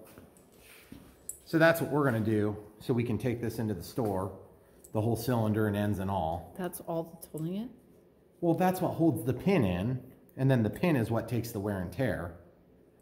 Okay? So it goes like that, and that sandwiches the top and bottom of the cylinder. So then you would just do that on the one side or the other. See, it pivots from here, so we should be safe. Okay. Okay? And you see how it's allowed to come out? So since I didn't design this machine, and I don't want to have to redesign this machine beyond what we have to do to get the job done, I'm just going to make, I'm just going to write a letter like A, okay? I'm just going to write A, okay? That's going to remind me that the A sides go together. Oh, okay. It should be able to go technically either way, and it shouldn't have any major impact. Um, in fact, that might That might be better because then it gets the the hookups out here. But I don't know. We'll take a look at it because then the hoses could come in. See how there's holes here yeah on those side? Could they come right up there. there too? I don't know. I don't know. Probably. Something where it would give them more protection. I'm not sure. That's not a bad idea. I'm gonna take this other one off though, and then. So far, so good. You know, What are you taking off? I'm taking off another pin so I can get the cylinder out. Is it gonna fall on me? It's not gonna fall on you. Okay. Now you know what's gonna happen. It's just easier to get to this bottom one in this oh. case because the frame is up here. Yeah. So guys, if you're watching this and you're laughing and you're thinking these guys don't know what they're doing, yep, you figured it out. You figured it out. Congratulations. But you know what? We're doing it. That's how you learn. Hey, see this label? They got a label here and they didn't pull this backing off. I don't know why they do that. I've noticed that on a couple of different machines we've gotten. They leave Oh. this tape over the top of the decal Over the set. vinyl. Because now you get to do it, and now it's pretty and clean and not all scratched up You mean like the like rest of everything it? else. I know. Just for your pleasure. Take that. So anyway, we're gonna fight this real quick for a second and come right back. Show you pulling. Actually, it's coming out. So hold on. Okay. Wait.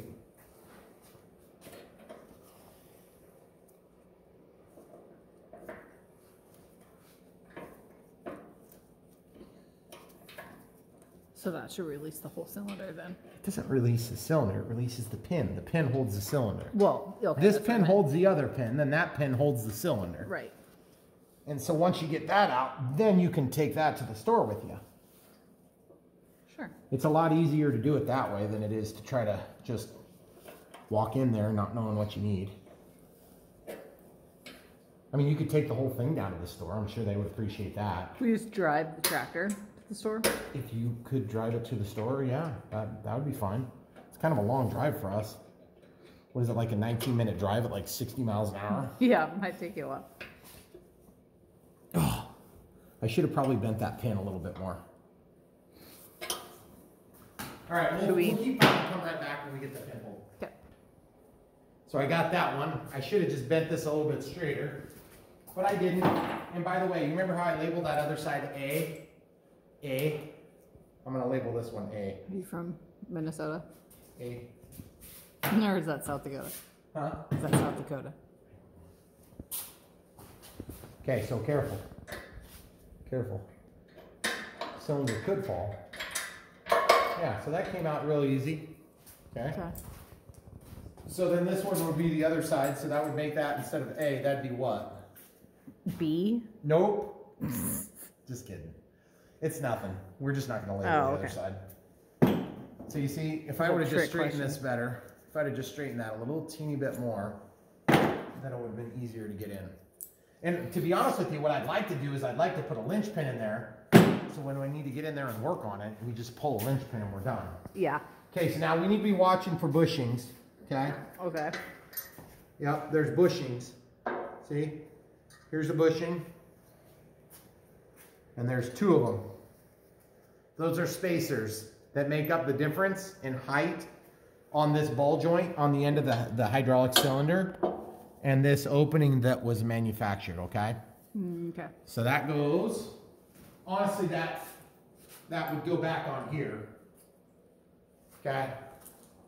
And then that'll keep all your equipment in proper position when you go to put it all back together. And then in true fashion, the A-hole will be settled on its own. Okay, so watch for the bushings. Hey, careful, I'm pivoting this. Worst case scenario, it would pivot like this, but I don't believe it does pivot like that. Which is the one thing I was concerned about on this machine is I'm not sure how it rotates. You see that, guys? You got those two rings. Those may be slightly different size, but I doubt it highly. They're probably exactly the same. Okay. I know one of you is screaming at the screen, just measure it, Brian. I need to know what size that is. Don't ask me. Do not text me and ask me. That's one quarter inch wide. That's one sixteenth of an inch thick. And the diameter is, well, the circumference is one and, ooh, that's tough. I'd say it's one and three sixteenths diameter. Outside diameter, inside diameter is, let's call the inside diameter one inch. So if you need to know what that is in metric, you can go to www.google.com. Yeah, go. That thing. Go to that place. For you And they'll, techie wizards. they'll tell you in like milliseconds. Well, it depends on how slow your internet is. Okay, unless you're at our house, and then it'll be like moments at least. It will be moments instead of milliseconds. Yep. And when we say moments, we mean up to 27 minutes. There's nothing better than running a YouTube channel on slow internet. Yes, It makes for no frustration. never, ever. Okay, so we have those assemblies ready, and then the cylinder is free now. So if you bought this, you can buy this without the cylinder, but here's a good close look at the cylinder and the hoses. Okay? They managed to scratch the cylinder, that's always fun. Looks like there's some brass bushings here. These things are ball joints. Snap rings here, hold that ball joint in. That's pretty sweet. Oh, you know what this would be sweet for? What? A top link. I wonder if I could buy one of these for a top link and have a hydraulic top link. That'd be nice. Okay, so now we can take that to the store. And the other thing too is if you look at this, this cylinder has the hoses coming out the same direction. And I still firmly believe that it'd be better if we could loosen this. But I don't know if that's gonna be allowed to spin around. So I guess we're gonna find that mm. out right now. We are. Where's the tool? Which one? Did you pause it? Nope.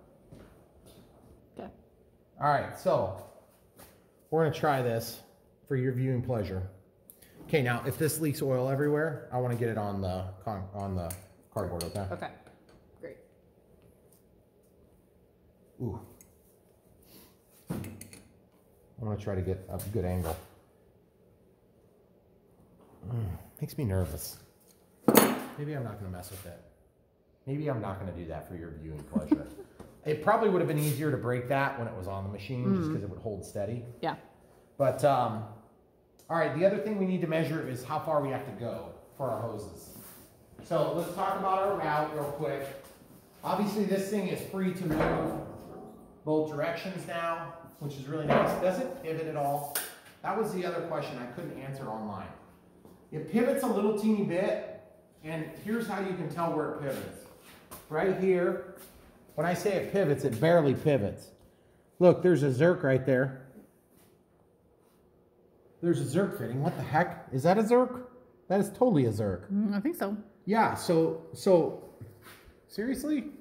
Okay, so basically there's a bolt here and then there's a bolt there.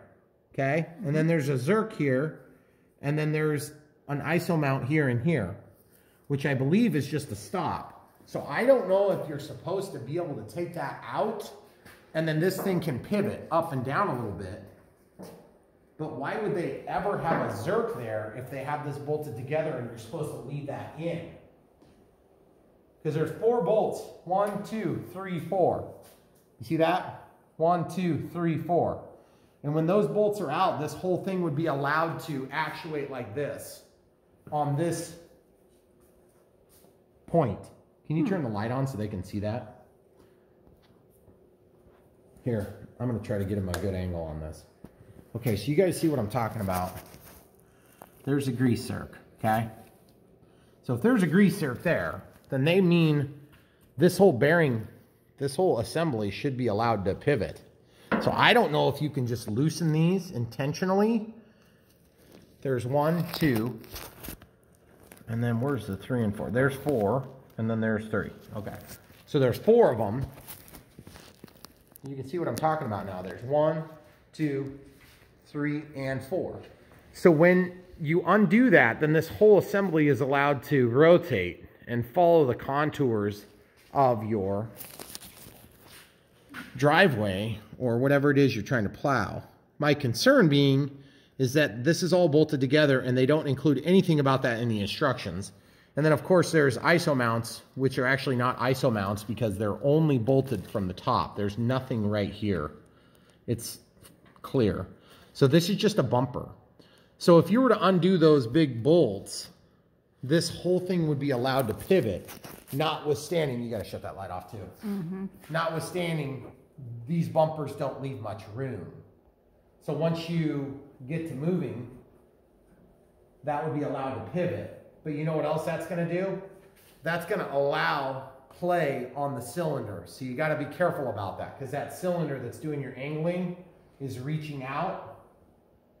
You know what though? I think it's okay too because that's all part of this assembly. So it is allowed to move. Okay? So yeah, so we could actually look into that and see if we can undo those four bolts. I don't see why you wouldn't be allowed to do that. If you know you're gonna have everything flat and true, it should be no big deal. But like on my machine here, when I float the controls, it's gonna be on the ground and it should just have the weight of the loader arms and then this pushing down onto the concrete. And as I plow, then that's what's gonna be used. And I can put downward force on it, but I wanna float. So my stick is gonna go all the way to the front and there's a locking position there. Okay, and that's true for most hydraulic uh, SCVs on, on attachments like this, or on tractors like this, or skid steers and things like this. But I'm just not sure why this isn't designed to pivot here out of the box. And it didn't any, there was nothing in the instructions, I don't right? think so. Okay, and there are grease zerks here, so we're gonna wanna grease this too. Mm, okay. So this pivot point here, Mm-hmm. there's a grease zerk here, and there's a grease zerk down here. Okay, so right here. Right there, okay? And then there's a grease zerk there. So that being said, you guys have gotten more out of this video than the manual will ever give you. Um, on our hydraulics, we have to come from here. We have to come from here down. So when I say from here down, we gotta go, remember, you gotta leave yourself a little bit of room for slack too. Oh, and one of my favorite features on this tractor, with this machine off, I can let the three point down and I can move the stick back up. So as soon as it starts, it's gonna go back up. Okay. So I wanna run this from here down, but I wanna make sure that when I do it, I do it in such a way that it gets out of the way. You see that moving part there? There's a couple of different places I could tie my lines to. Maybe put like a hose clamp here or something like that. But then this, this is stationary, so I could actually hook onto the top of that. There's actually a hole here, look at this. See this? I could pass right there because this thing pivots, but it only pivots like that. So I could hook them and then run them up here and tie them onto this and then go straight through here. So let's call that whole operation two feet and then two feet gets me to here. And then to get down to here, I'm another two feet. So we're at four feet, camera crew. Okay. Then to get out to the end here, we're gonna be adding to the four feet, we're gonna be adding, let's call this five feet. Okay. So that's nine feet so far. Actually, Yep. we're, we're eight and a half feet.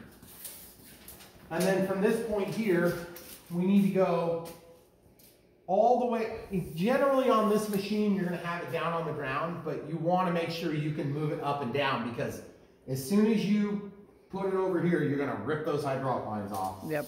So you gotta chase this path. So let's say we're gonna go up to this spot here. So we need to go another, that's three and a half feet, so we could call that four plus eight, right? Because three and a half plus eight and a half. So it'd be four plus Four nine. plus- No, if four you're plus eight, okay. because I shared the halves. Okay, so four 12. plus eight would be? Twelve. 12, okay?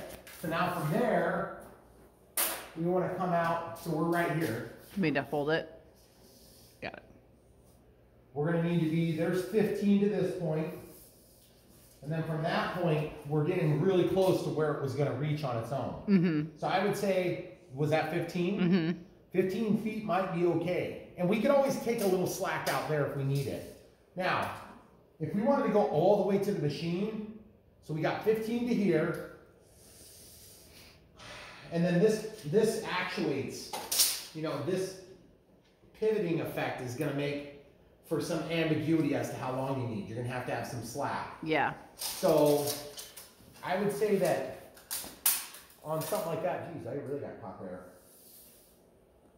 There's four feet without any without any slack, and we're almost all the way sucked in here, as you can see.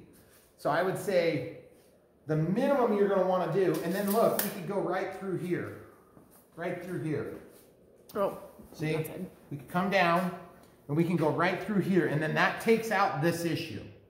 Then that's not an issue because the way that it pivots, you're going to be on the pivot point. So anytime you run a hydraulic line or a wire on a machine that has moving parts, you go to the pivot point if you can, and that's how you save your hydraulic length and you save your um, any of the bends because the bends are always where you're going to rip stuff. And I do this for a living too, so it's part of my job, a small part, but it is it's actually an important part. So anyway, so we're at 15, and then we add to get to this point here. We're gonna go from 15 to four is gonna be 19. To the cylinder, it's probably gonna be another two. So I would say 20 feet would be safe. 20 feet would be safe. And we're gonna have to creatively tie that. Now, I don't really wanna run hoses all the way up here. Because remember, like if we get another another attachment, I kind of want to just have them tucked up here next to all these fittings. Oh. If you go over there, you can see what I'm talking about.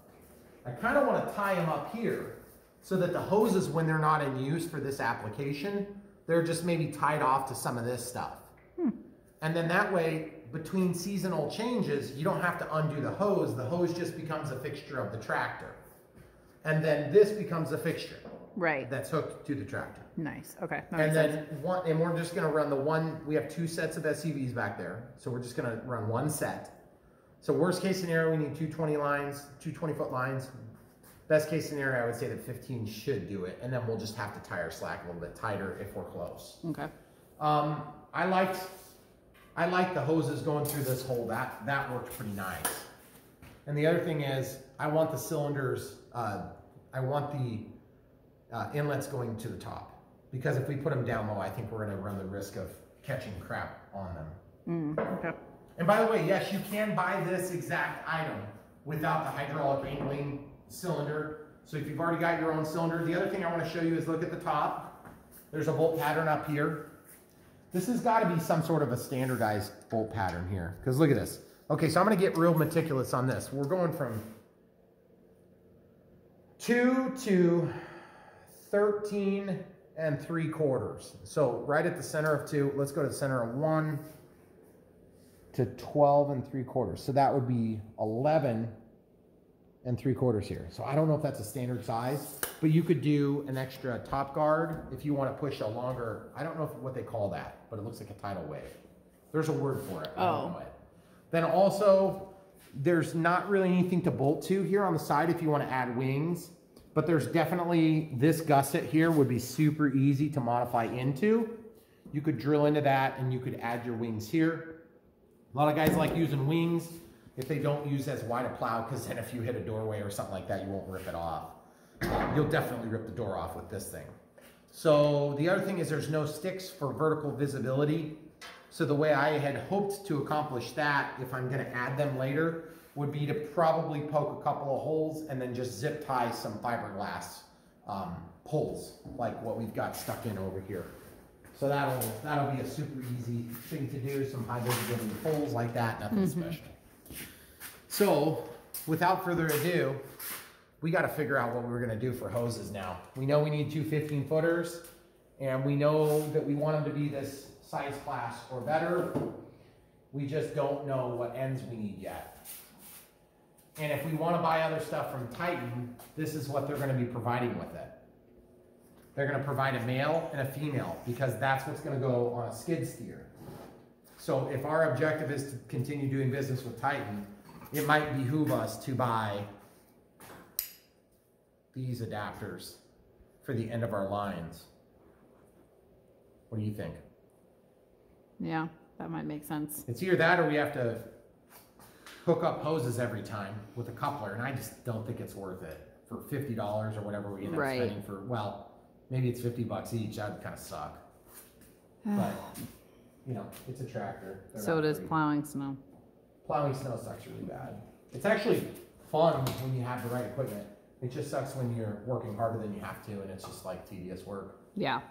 And it's it's I don't want to say it's thankless because it's kind of fun to do at first, but then after the end of the season, you know, you're like, thank God it's over.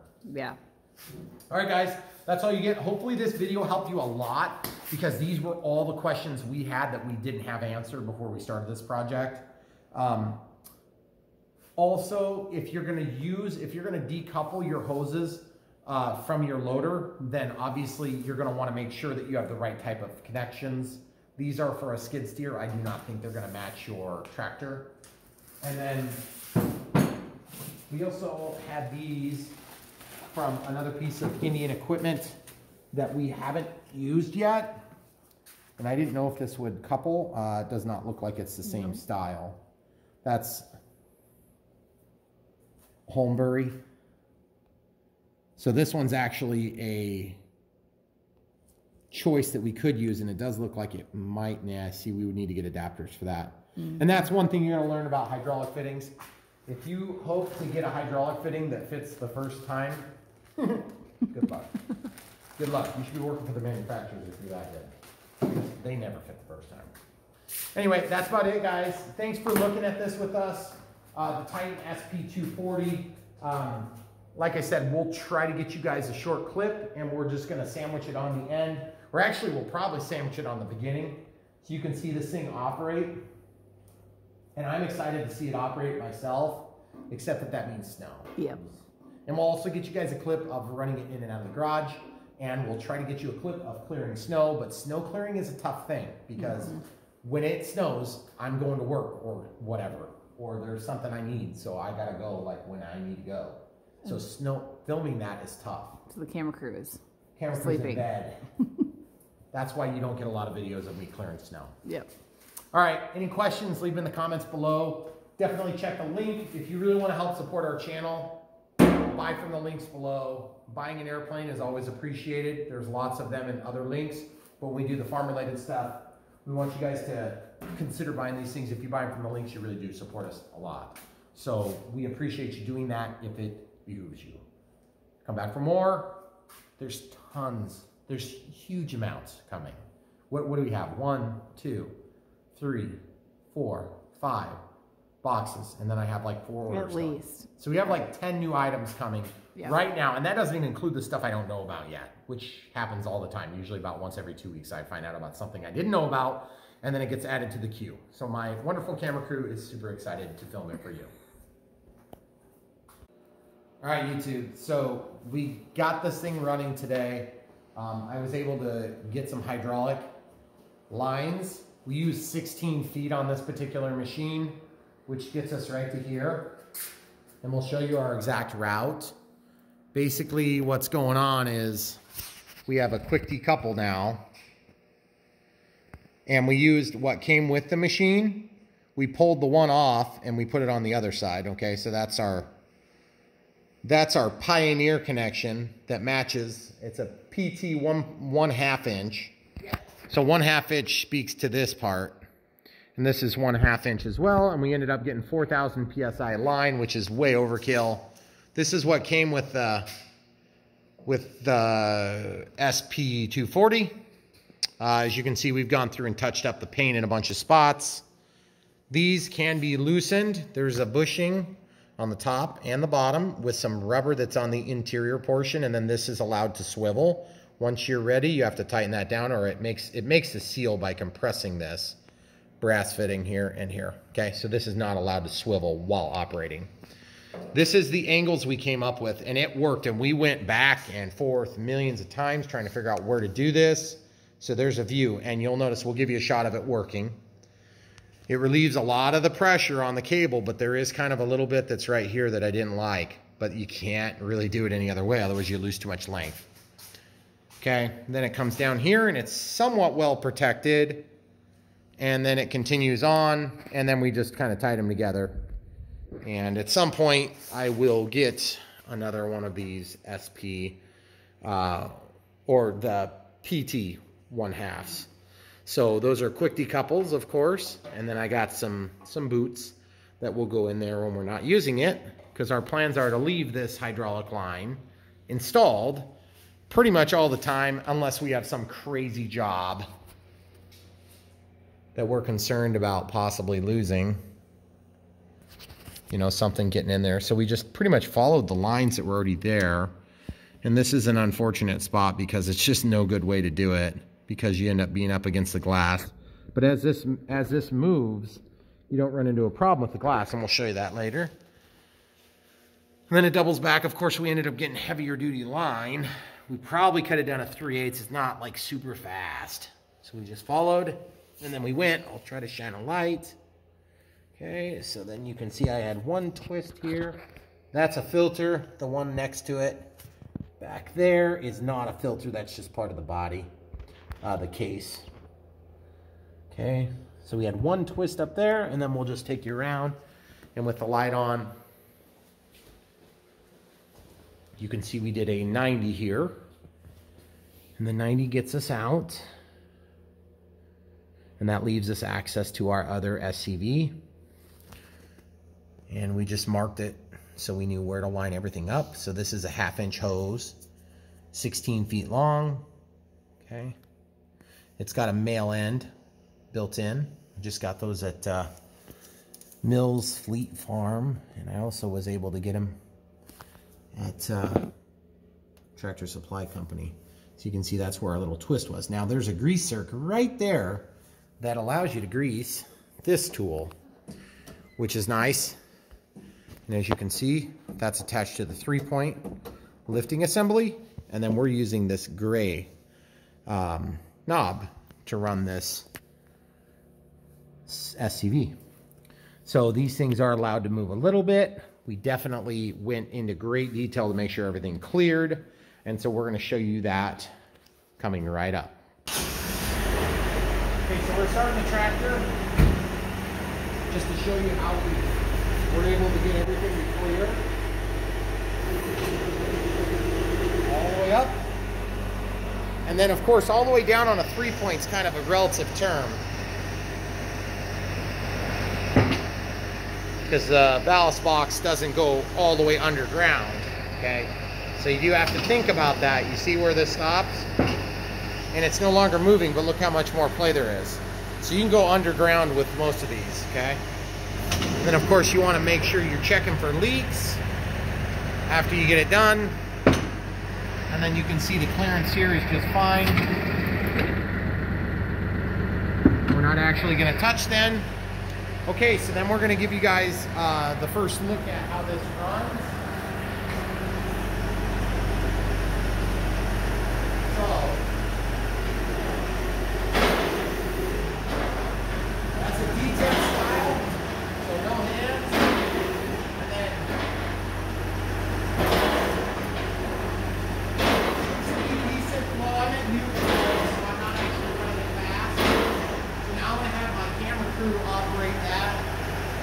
I give you guys a look from up here in the belly of the beast.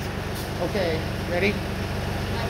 No, it's the stick right here. It's that stick, the gray stick. Okay, try it.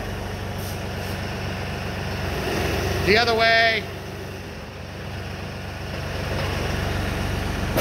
Okay, the other way. Just keep going back and forth. And so you can see how this works. Come on, keep going back and forth.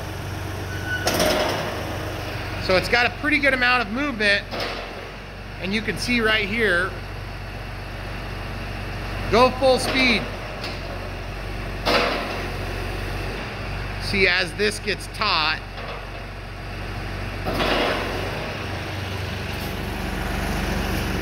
you're gonna notice that this is relieved right where it needs to be relieved. Go ahead. You guys see what I'm talking about there?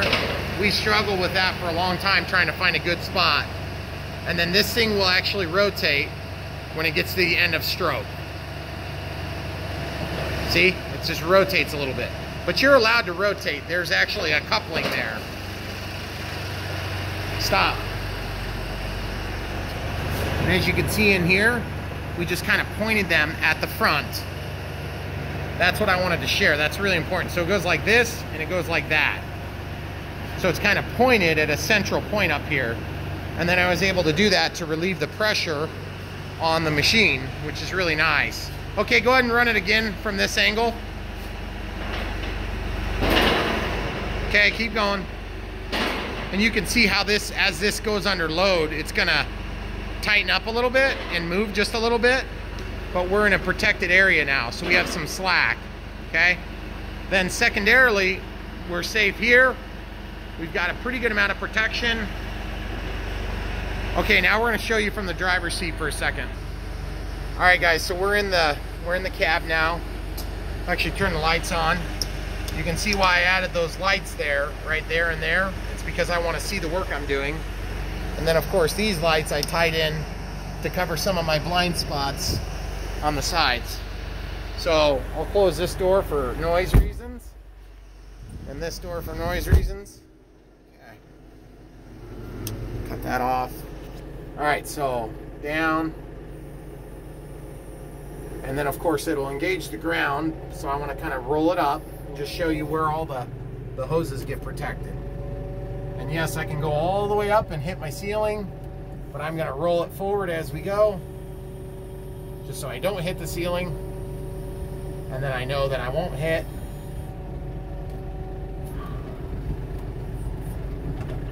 My camera crew is concerned I'm to hit the ceiling. Okay, so as you can see, we've got plenty of throw. And that's what you guys all have to do when you get this done is you have to make sure your hoses are to reach. As you can see that slack there, don't want to have your slack rip off when you collapse this all the way, okay? Okay, that's all the way. So that's about as good as you can get it. And it takes a lot of doing to come up with a perfect position where that's going to work. And then when we're ready to put the forks on, or the bucket, or whatever we need to do, we just go down here and unhook our couplers, and we're ready to rock and roll. So I'm gonna go up high so I can show you the pivoting again. Oh, and then let's show you the pivoting at an angle. When you got it way up at an angle, and then this is the stick here. It's right here next to my side. Okay, so it's a detent, so I'll move it. Okay, so there you go. And there you go. And I'd actually like it to be opposite, but whatever. I'll get used to it. See, it's a detent. You got to stop it. Pretty fast.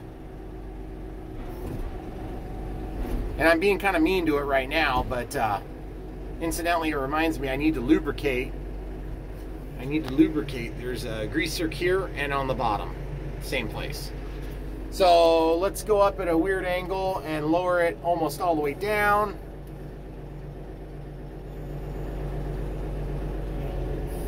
Okay, so now when you're like at a weird angle like this, you can really see how much movement you get, which is pretty cool. And there's nothing worse than getting off of a machine to actually adjust your angle. That's just not fun at all. Especially when it's freezing cold and you've got to adjust pins and stuff like that. I'd rather have it idle. And yes, you can take the cylinder out and yes, you can push snow and you can just depend on driving to actually manipulate the position of the blade. So, all right, we're gonna drive a little bit and give you an outside shot.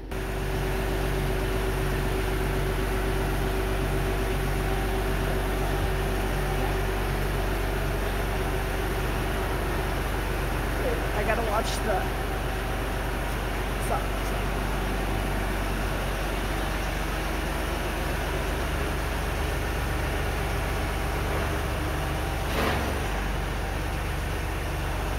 Just the weather, just bumps the weather strip like it does on the other side. Okay.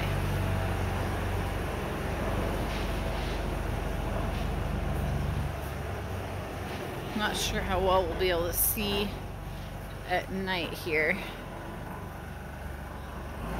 But I know he wanted to drive with it on. And I'm guessing he's gonna see if he can get parked um, in the three car side you want to try going in the garage? Yeah, do you want to? Yeah, let's try going in the garage. Go open the three cars.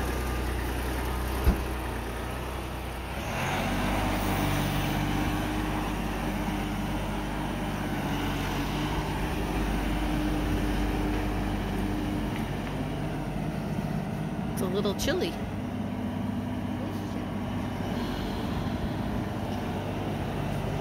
I'm gonna go. Actually, I'm gonna switch sides here real quick, guys, and get him as he's coming in. And then when he gets close, I'll run around the front so you can see how he's doing on width. And you might need to stay back here just to, because he's gonna be really close.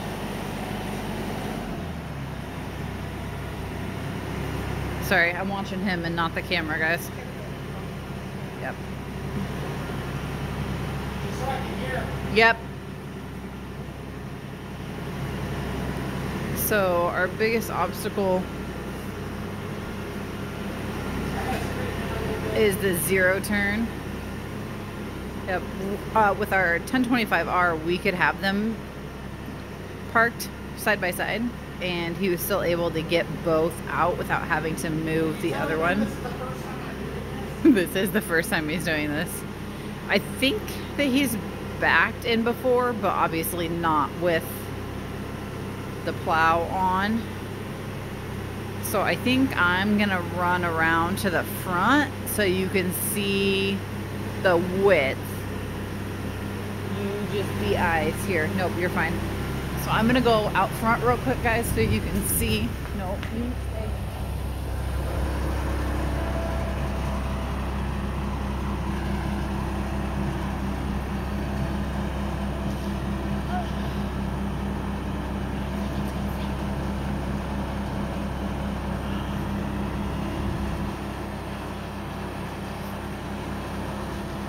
Um,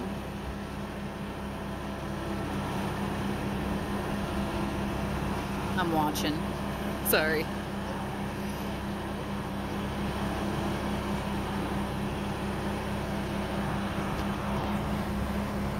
I might have to pause so that I can talk to him. We'll see what he thinks when he comes out.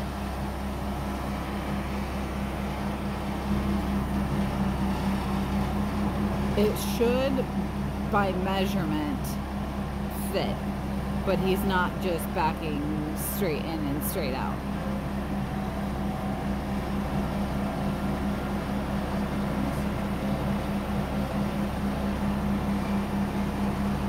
And then we have to get two other vehicles in there.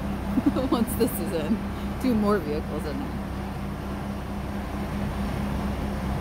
I don't know if he's gonna be able to go back far enough to get. He's getting really close, but I don't know how much room he's got behind him.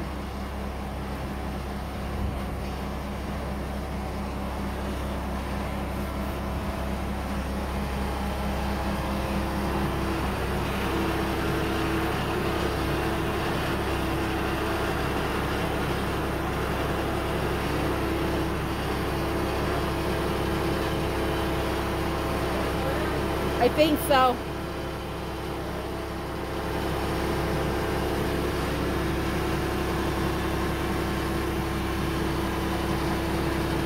oh, jeez. Well?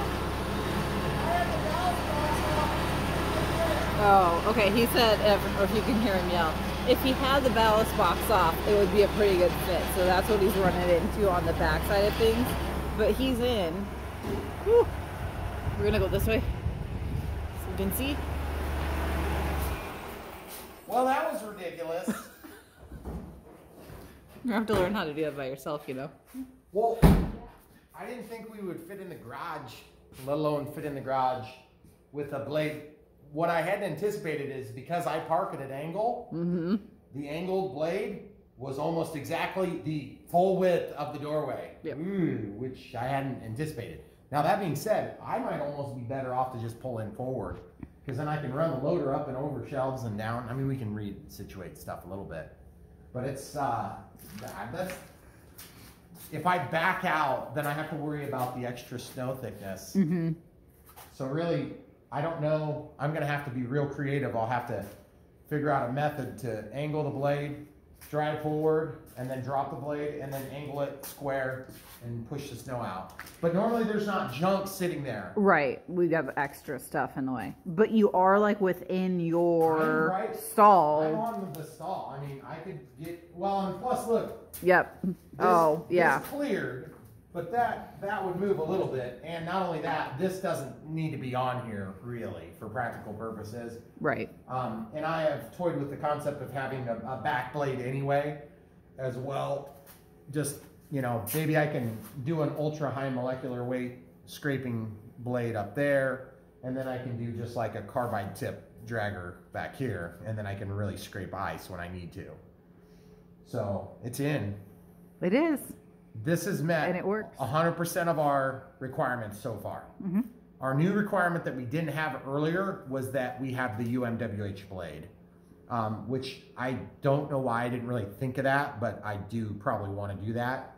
Um, and if I don't do that, I may end up doing rubber. So rubber's just not very good at getting a very clean finish. You just never really totally get it clean.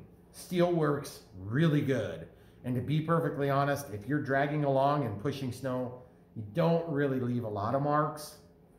But if you park it on the driveway, you'll leave a mark.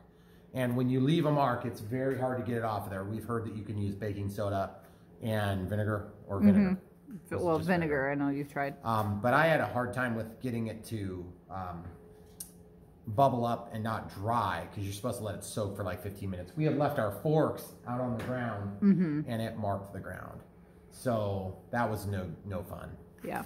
But anyway, um, it's fully functional, which is really good because with the way that the installation went, it actually wasn't hard to install uh, the actual machine, but it was a lot of work to hook up the hydraulics. Now that that was partly just because of where our uh, spare hydraulic SCV is. But it was only about three hours total, maybe not even quite that long. And that was building all the connectors, running it, Yeah. everything. And I we don't know what we're doing. too. No, ex- that's what I'm saying. So- it wasn't that bad of I mean, all the things actually, we've I kind of do know what I'm doing on running lines and hoses and things like that. But in terms of putting the couplers together, I mean, it's like something you do, unless you work on hydraulic systems all day, then you're going to do it like a couple, three, four times in a lifetime for the average person. Right. And if you're a farmer, you might do it a lot, but we're not, you know, that's not like our full time gig. So we do technically, yeah, we're farmers, never mind. So that being said, guys, that's all you get until snow flies. When snow flies, we promise you we will get you a video of it working. If we get an ultra high molecular weight cutting blade, which we're seriously considering, um, once I see the prices and I pick myself off the ground, which by the way, speaking of prices, we spent a, a little bit under $200 on all the fittings. So uh, between the hoses and the fittings and all the little, you know, 90 degree angle pieces and the tape, you know, because you need to have some pretty heavy duty thread tape. And then what else did I buy? Oh, we had to buy The the, couplers. hose, the the couplers are pretty expensive. yeah. I think I thought I was surprised, but these little um, PT half inch, which would have been a Pioneer style half inch, uh, they were way more reasonable than I thought. And the skid steer are like really expensive. Yeah. To the tune of you're going to spend over a hundred dollars for a pair of skid steer style, but they are very nice with those flat faced. You push them, they go. It's very quick. It's very easy. But you're talking sixty nine dollars for just the female side, and then another something god awful amount for the male, which I couldn't find. So as a result, I definitely want them to mimic what's here because when I get a new uh, implement, I want to have it match what my tractor has available Yep. at its disposal. Um, now, that being said, when I'm done with this, um, additional, because like I said, I kept one set. This It came with a male and a female, and I took the female off and mounted it on our hose. So when I get, they just happen to be out of stock on the other Pioneer PT one one half. So I'll replace that, and then I'll have a male and a female. So later on in life, someday I may get another male and another female, and I'll make a quick decouple adapter, and I'll put the um, adapter so that I can just plug in there, and then I can buy a skid steer attachment. Actually, I should need a male and female if I do skid steer. So like if I buy another fixture or another implement from Titan attachments that has the skid steer attachments, I can just put that decoupler on there. That'd be pretty cool. Yeah. And that'd be reasonably cheap because the Pioneer style was about 11 bucks, I think, for the male end. So 11 bucks times two, so 25 bucks, you know, you're going to be out the door ready to go. And then you can adapt between this and the skid steer style, which is cool. So anyway, that's all you get for tonight. Uh, one last look real quick, just to show them it does fit. that, actually, we have a lot of room in front Yeah, you too. do. Now that you're I in. way in. Now, yeah, but you had to get that far in to clear To the edge of the door to pivot back. That was. Yeah, that was so barely. the moral of the story is 79 inches would have been a lot easier to park, and it's probably would have been a lot easier to do a lot of things. But what's going to be nice about this is that when I drive out there and I'm actually clearing the snow, it's going to be a lot easier to clear the snow because Yeah. our driveway is like 14 feet wide back there, and then it's 40 feet wide at the entrance. Yep. So 40 feet wide means that if I'm eight feet wide for all intents and purposes, what's eight times 12? 90, 90 something, 96. So we're not quite eight feet, right? No. Eight times 12 would be 96, and this is 94. Yeah. So it's like eight feet. But if you're trying to clear a 14 foot swath, then it's going to take you more than, you know, the exact number of passes, too. Yep. But when I get good at it, then hopefully I'll be able to do just like the center, and then I can work my way so that I push things, you know, like over the hill instead of making a, a water dam over on the other side. Right. And I did love plowing with that zero turn. That thing was awesome. If you guys haven't seen the review, I definitely do a review. And the guy that makes those is on YouTube too, so you can check out his stuff. But that little tool, that was super cheap and really was nice. I think it was around 600 bucks or so. Um, Yeah, it, like it was like 600 ish shipped. So it might have been like 500 bucks plus shipping. And getting a plow for 500 bucks shipped, and then I spent I think 50 bucks on that UMWH um, cutting blade, and then I spent probably another $20 on hardware because I had to get longer hardware. So Yeah. all in, it's about 600 bucks, maybe a little bit more by the time it's all mounted up there and ready to go. So good solution if you have a zero turn that's a John Deere because he does John Deere uh, sizes. He does four or five different sizes. But this thing was awesome. Titan did a good job on this frame and uh, design and shape. So I'm really excited to see it work. I'm also a little bit excited because I have that thing pulled all the way back. Like I'm, I'm tipped all the way back. I can go forward like crazy, but the thing is, I'm tipped all the way back, and it seems to be about right which is kind of nice because when I'm running it in float, some people will opt to not have another control, so they don't have the pitch axis anymore or the dump axis. They're just going to have their lift so they can float, and then they're going to disconnect their bucket tip and they're going to use that to actually run your Oh. yeah, that mechanism. So that might not be a horrible option for you. And the other thing too is with your tractor or implement, well, in this case it'd be a skid steer, you want to be mindful of the angle that you end up at. You may have to figure out a way to shim it out so that you can get that proper angle. So we did not have that problem. So, but some people might. Any other thoughts? I hope you don't have to use it anytime soon. Yeah, I, I want to try it. I know you do. But the thing is, I I'm excited to try it, and I'm excited to do it in the warmth of Yep. the cab. That's something we've never experienced, so I'm Yeah. super excited about that. I think And that'd this, be great. This Kioti, so far, really happy with it. Um, it's been, what the heck is that? That's so weird. What is that? I think it's just the. You remember when we put the Dawn dish detergent in there? It's just kind of a little bit pooped out, and now it's got like a bunch of grass and stuff stuck into And it. it's like frozen. yeah, right. so I'm really excited to see this thing operate. We will definitely get you guys a clip, and uh, hopefully you can make up your own minds. This is a super long video, as usual. I mean, that's just what we do. If you don't like long videos, you wouldn't be here now. Um, so if you think it should have been shorter, leave in the comments what part you wanted to have cut out, and, and we will take that into consideration. And uh, also, if you if you want to see information about a Kioti, there's not that much out there, in my opinion. The only time you can find information about Kiotis are from distributors, and I'm not one of those. So I want to hear from other people that actually bought them with their own money, and not somebody that's trying to sell it to me necessarily. Um, I mean, that's definitely got its time or place, but in our case, we just want to share about this tractor, what we've done with this tractor, how we've gone about doing it, and then how you can copy if you like the ideas. Because when we entered John Deere, that was one of the best things of the John Deere uh, was that we could get online and find, you know, like 10 people had tried doing this thing or that. And it's really nice to be able to look online and find that. Whereas with this Kioti, they just, there's just not as many of them out there. But we are really happy with it so far. And we're like really surprised uh, that it's so much more economical because so far I'm finding it to be great in like every aspect except for the diesel tank, which is the only thing I definitively do not like about this tractor. It's a pain to, to fill the spout. So, anyway, any other thoughts, camera crew? Nope. Okay, that's all you get tonight, guys. Uh, we will, if we get snow soon enough, we will add the snow to this video and you will have already seen it at the beginning.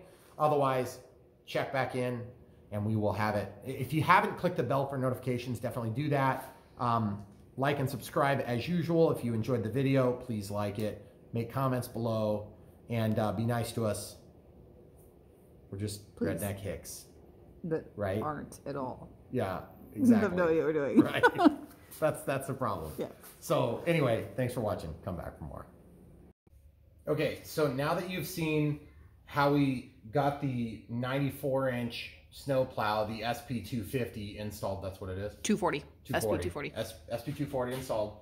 We're going to show you one other feature that we found after the fact, as usual. We found these really nice connectors that come with dust caps on both sides for about 30 bucks shipped For a set of two. for a set of two. And they have the poppet style, which is really nice. Okay, half inch MPT thread. And they're really strong. And, and they're actually easier to release than the Pioneer version were. And the reason we were looking at that is because we had a little teeny bit of leakage on this. That might be, you know, within the realm of normal. But we just said, you know what, we're going to give this a shot. And then we'll have a matching pair. And it's actually quite a bit less expensive. So we're excited to try that. But we wanted to show you one of those came from Summit. So Summit Hydraulics. And as you can see, our garage is tight. We've showed you this before. I actually pulled my work truck out, which right now I've got a longer than usual work truck because of something that happened. I'm not going to go into lots of details.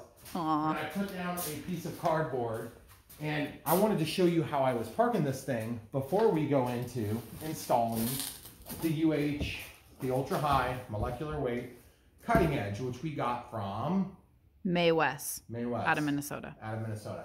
So we got this.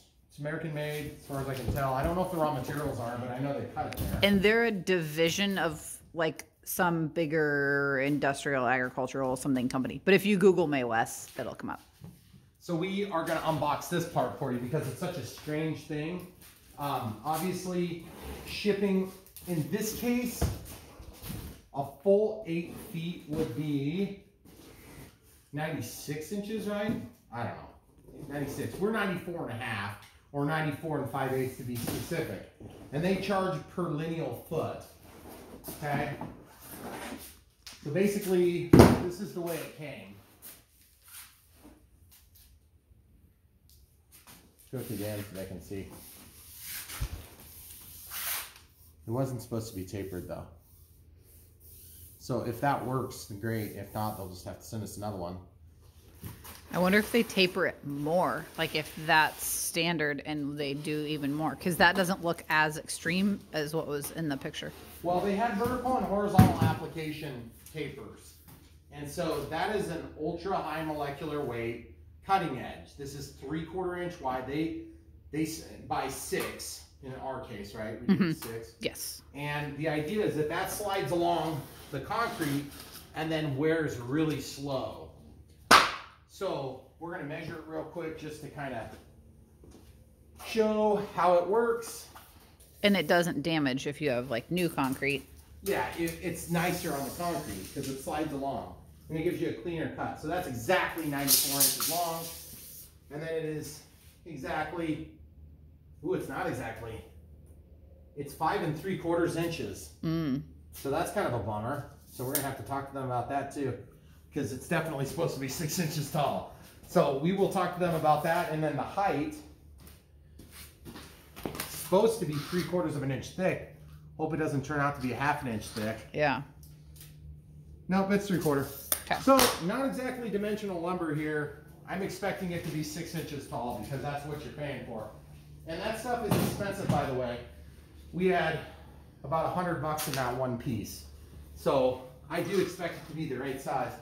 Now that angle might end up working out to be about right. So if it works out, then great. If not, then we'll talk to them. But for now, I want to show you the process to install that sort of thing. We've already installed one, but then it didn't snow. So last year we showed putting on a half inch by 48, which is over here mm-hmm. on the wall. So without further ado, I want to show you the process of how we park this thing because it has, it's big. and we have a normal um, eight foot by eight foot tall. Eight foot tall is actually a little bit more than usual but we have a square door and then we have a rectangular door. And we didn't want this door to be taller and we didn't want it to be like really weird wide because there's only steps you can go from like eight foot to 10 foot. And we didn't know if we wanted to have a 10 foot wide opening, although I would have done it in a heartbeat had anybody ever mentioned it. So, Well, it would have made a bigger garage. yeah. which would have made the bigger door look okay. truck- like you can pull a car in like this with regular mirrors. But as soon as you get a pickup truck, you're not getting into an eight foot door. So do yourself a favor and get a 10 foot door. If you're building a house, just don't even consider an eight foot door. Yep. And don't even think about doing three eight foot doors. Nope. Because if you ever, God forbid, get a truck, then you're not gonna be able to pull in or a bigger SUV. So just take my word for it. Just get the 10 foot wide doors. You can thank me later. So, and it's it's hardly any difference in cost. Yeah. So now I'm going to show you how we park this. If you want to kind of come me go out. and show, yeah, you might get a better angle from Okay. over there. But it's parked really weird. Yes. So we rolled this under, so the cutting edge is, is up. So this is tucked inside out onto itself.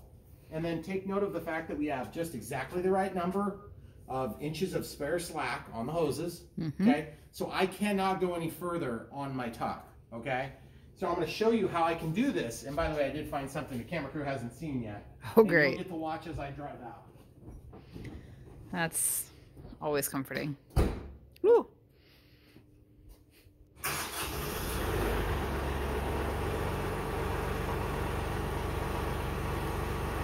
If there's a creature in my garage,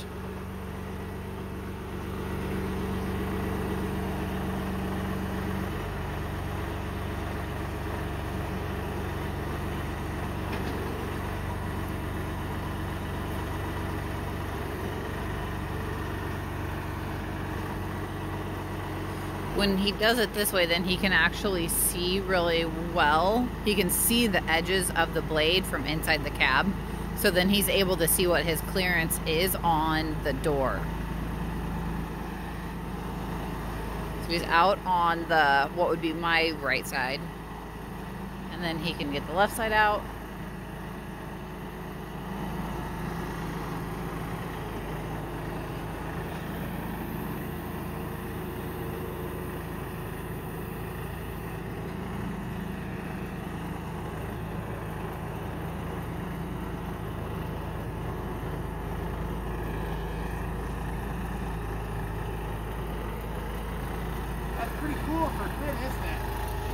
That works pretty good getting out too. So if you guys have a tractor that you want to have this wider size on, that's an eight foot door and that's a 94 inch blade at square. Okay, so if you perfectly square to it, through 94 inches, that's scary to drive out of. Okay, because your weather strip and everything is right there, and it's not like this is going to give like a breakaway mirror on a car. So you're going to take out your trim. It's going to be dangerous and expensive. So what I did there was I basically put it vertical and I was able to manipulate it at an angle which gets you the maximum clearance and that worked out really nice. So keep in mind I can't roll it any higher than this. Down low. Now you can go up high, but you wouldn't want to necessarily have to go up high. Right. So sorry I was trying not to blind the camera crew with the lights. But that works really super nice for getting through. So basically for now I'm gonna run my hydraulics so that the blade is centered and we're gonna just park the other stall just so it's easier to work. And we'll just let you guys watch for enjoyment and you can laugh about that.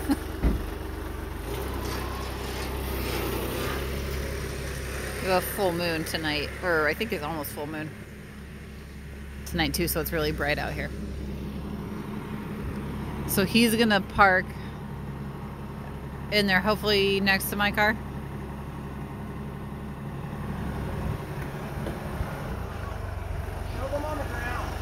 What? That's the other thing about this Kioti is that I noticed that it always drains the AC always drains. There's two drains over here and over here that drain the AC condenser, and there's almost always drips that come right off of it when I first pull the tractor out, and it freaks me out every time. Yes. Because I assume I have some huge hydraulic leak. So if you get the Kioti DK or the uh, the CK or whatever size you get that has a cab and it's got the air conditioning lines that drain back here, then don't be freaked out. Find them, know where they are, and then you won't have to freak out because every time I drive out, I see it, and even now that I know what it is, it still concerns me Yeah. a little bit. And then show them the moon. I did it. I just did when you were turning around. Okay, right.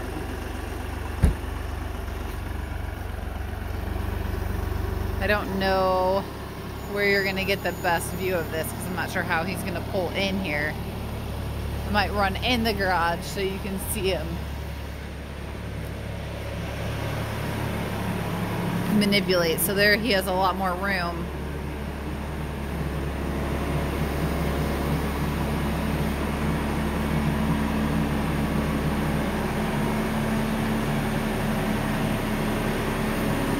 Sorry, I'm watching my car and not the camera.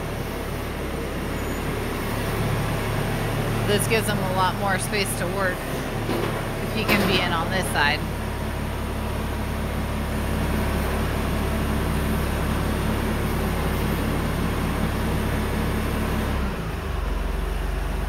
And he doesn't have the ballast box on right now, so he's able to get in. He doesn't have to pull in as far. As you guys can see, this thing is really easy to get around. By the way, there is a little bit of play because the four holes that are on the inside of this mounting, they do have slotted holes. So it's allowed to play a little bit left and right, which is important. So basically, without further ado, we're gonna go ahead and take this thing off and just show you how we adapt that blade to this machine. Notice that there's already washers here. Some of these machines don't come with washers and they come with tapered screws or tapered bolts. So what you wanna do is if you do have tapered bolts, you have to send in your bolt pattern to a company like Maywest and they will actually make the bolt pattern for you. What we're gonna do is they suggested that we didn't need this. And normally I would take this off and I would use it to sandwich whatever material I have just to give it extra strength. But being that this is only five and three quarters inch tall instead of six, which is kind of irritating, I don't want to put screw holes down low like that so that it can stick down like that. Mm-hmm. I want to be able to flip it. So I'm going to put the holes in the center and then I'm just going to eliminate altogether this cutting blade. So that steel blade can be used for another project. And the easiest way I found to do it is to just literally lay that thing on the ground, go ahead and unbolt this, and then you can set it, center it, mark it, and drill your holes. It's super easy. Don't be afraid of it. This stuff lasts forever on the ground, but it's super easy to drill holes in. So you won't have any problems. So the first step, of course, is gonna be to break these free. And so we're gonna get the tools to do that, and we'll be right back. Okay, so we used just a regular impact. This is an 18 volt, it's nothing too big. We got a three quarter inch impact rated bit, and we actually were able to loosen off the nuts. I think they might be metric because there's a little teeny bit of slop in there, but it was plenty good to loosen. And then same thing is true um, when I bite down on it with my tool, it's, it's just a little bit under three quarters of an inch. But I would say three quarter sizing would be about right. And then the hole itself, in case you guys are trying to figure out what size you need, um, the hole itself is, well, we can measure the shaft of the bolt for you too, because I know this wasn't listed on the, on the drawings that I recall. It may actually be in the exploded view diagram, but the length that they gave us, all in, shaft and all, is uh, an inch and three quarters. Okay, inch and three quarters. But then with the washer in there, you're down a little bit. Now what we did was we basically figured on three quarters of an inch and we had a quarter inch penetrated out the end of the bolt. So we knew we were gonna be okay because we were only a quarter inch thicker than the half inch uh, steel cutting edge. So we should be okay. And then uh, looks like we're, I would say three eighths, blocking the light there. Sorry. So we're right at, I'm gonna call that pretty close to three eighths. Actually, you know what? I rephrase that, half an inch. So the holes over here on the cutting edge are gonna be edge to edge. I would say when they drilled these, they were, oh, it's a metric size, isn't it? Or it's a between size. It's not 5 eighths and it's not 3 quarters. So it's the in, in between. So what would that be? A 11 sixteenths of an inch? That's kind of a weird size, but whatever. I'm sure it's Um, metric. There's definitely a little bit of slop in there, which gives you the ability to straighten things out because these things uh, tend to get beat up pretty bad. So it took me just a couple of minutes to do that. And then obviously you're gonna have the bolt, the one washer, and then they use nylox. So that's always nice when they use nylox like that, especially a thin nylock. That's really handy in this type of application. If you get really tall nylock, you need a lot longer hardware. So that being said, I cannot sandwich my steel and the cutting blade, um, the UHWM uh, cutting blade, unless I were to replace the bolts at least. So that's the case in point. You want to keep that in mind because that hardware adds up. Um, this Maywest actually does sell hardware, and I think they charge was it like five bucks or something like that per? Might not have been quite that much, but it was It was enough that you wouldn't want to have to pay. it was a couple bucks a piece. it was it was enough. that Yeah. You wouldn't want to have to pay it. And so I just figured if I'm getting the right size, it won't matter. Some guys were saying that you needed an inch and a half for this application, and I just I can't even imagine how long it's going to take to wear down an inch and a half blade on a residential application Right. for all intents and purposes. Right. So, but if you were doing this on a commercial level, you may actually want that. So just to show you, I left one that was tight so that I could show you. And of course, I'm gonna do the super crazy dangerous thing and work on underneath. So now that's loose and it's gonna wanna come off. So had no problems at all. When I tighten these down, I'll tighten them with this and our plans are to go with maybe one more size up or one much bigger size so that we get a little bit bigger support onto our UM or UHWM, U H ultra high molecular. M W. Thank you. I can never say I that. know I can't either. So that would be way better, but I don't know if I have enough of these in stock. So Yep. one way or another, what what size are these? These are one half Um, inch. yeah. I think they're one half inch opening. It says F four thirty six. So I think they're actually a one and one and three eighths inch. And then the gap in the middle is going to be just a little over half. So that's what we're thinking about doing. We'll come back and give you guys a shot when we're tracing holes. Did you squish a giant spider with our snowplow? Did I? Why? Is that what's on the bottom of the snowplow? No, I don't think. Or is that dirt? spider. I think it's just dirt. That's from the grass. Ah, Sorry, camera crew. thank goodness. I didn't Okay. mean to scare you like that. All I right. did squish a giant spider when I was pulling this out last time. Hmm. That makes you feel better. No, it does that. Okay. All right. All right. So basically, what we did is we measured. Uh, this was five and three quarters. Supposed to be six, so that's two and seven eighths. Um, so we just need to mark. We just traced. I just laid this on top of here, squared up the ends so that they were even overlap. Because this is about a sixteenth of an inch longer than our plastic, which we knew that going in. And part of the reason we did that was because we knew we had extra length here. We're nine, we're just under 94 and a half. So we're gonna protrude out the end just ever so slightly. So hardly any. But we didn't want any extra width because obviously our doorway is narrow. So we figured we would, you know, make up a little bit there because this is 90, 94 and 5 eighths and this is 94 and a half. Okay. So you can see I made a mark on there so I can transpose the mark super easy and I just mark the centers and then I'm just gonna I'm just basically gonna make my my marks These don't need to be absolutely perfect, but the more perfect you get them, the easier it is to drill.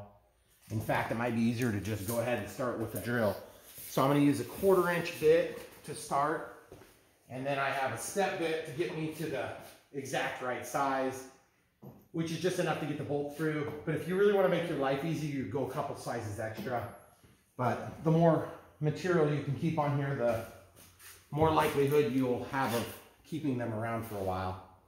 So we'll just double check this again. Yeah. Okay. Again, this is this is not like ultra precision stuff here. And that might be one good reason to pay Maywest to cut it for you because this is a bit of a pain. If you don't have time, go for it. Well, if you don't have time and you're watching this video, I kind of doubt it. I, I choose to. Uh, You have the time. if you're watching this video, you have the time. And you said have them cut it for you, but you meant have them drill the holes. Yes. Like obviously they're gonna cut it for you, but Yeah, they're gonna cut it for you. yep, they can also drill the holes. Yeah, but this is just this is just so easy that most guys are gonna want to just deal with it themselves because they never are quite exactly right on these machines anyway.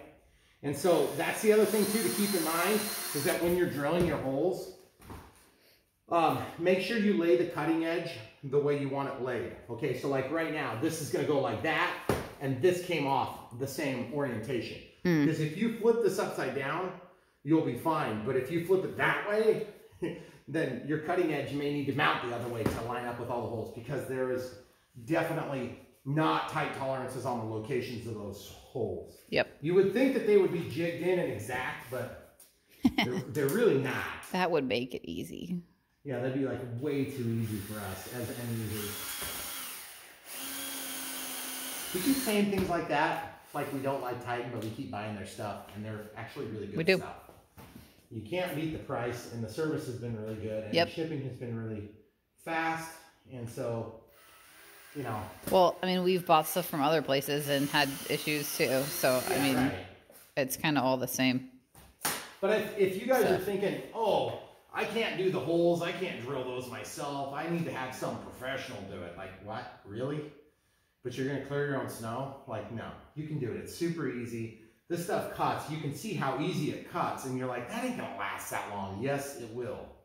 It is designed to wear slow, hmm but it does cut easy, which is super nice. And so, when you go to cut this stuff up, you always have a real easy time getting it milled, and you can get a nice mill.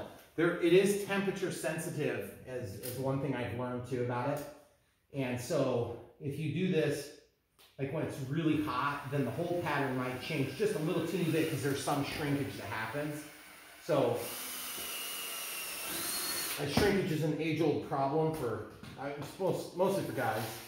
So you'll want to deal with that at your I leisure. don't think shrinkage is ever a problem for girls. Let me tell you something. For well, depends. Depends on who you're talking about. So Hmm. I'll have to have that conversation later. yeah, I don't think we can talk about that on YouTube anymore. So we're gonna cut these holes in at a quarter inch, then we'll step them out, and we'll just make sure it works. Now, why don't we just finish it because we're so close? Yeah. We can get the first hole cut, and then we'll let you guys leave the rest to your imagination. And we looked, we priced a ton of this UHMW material. Um, Yeah. And can- if if you're getting a smaller plow, like on our old 48 inch plow, you have a lot more options, I guess. Well, I felt like there was more options in the realm of the economy.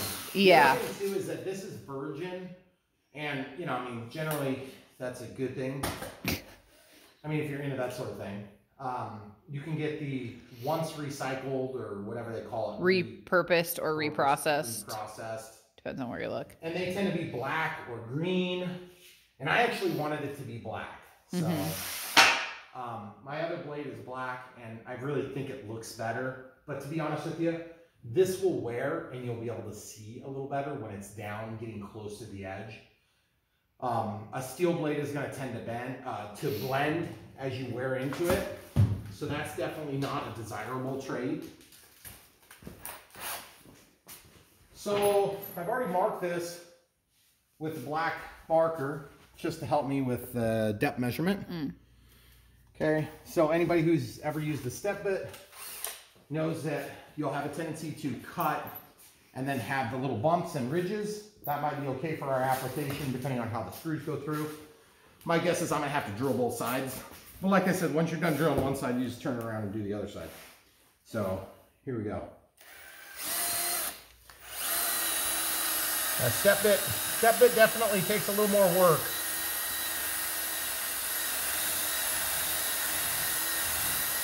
So I'm walking it this time. You see what I'm talking about? Now you can tell that ultra high molecular weight. A lot harder to drill, especially with a dull drill bit, which hmm. tends to happen. I think part of it is I just don't have anything to push against. So that's the depth I need. And then we're gonna flip it over and hit it from the other side. Do you need to set up like a little Yeah, I can- stand instead of your leg? You know what? My legs do just fine most of the time, but I'm not Oh. sure because the stuff is kind of melting a little bit on me. And so I just want to keep those holes centered. But see, my idea is once I get through, see, I, I need to go to the next size up. I was afraid that might happen, and I'm not really too off put. So I'll have to go one more depth of plunge. Okay, there we go. Now I got a nice hole. Oop, still not quite there. And then we did find a bigger washer. I could force that through and I probably will. So once you get that, why don't we do the other side and we'll just show the people what it looks like on there. Okay. And we'll give them a shot at the very end. So we'll pause and get the other side done. Okay. Okay, so we got these tightened on, just kind of finger tight for now, just to verify everything looks good and to verify we look like we have a good reach. And this is good because we have lots of support here.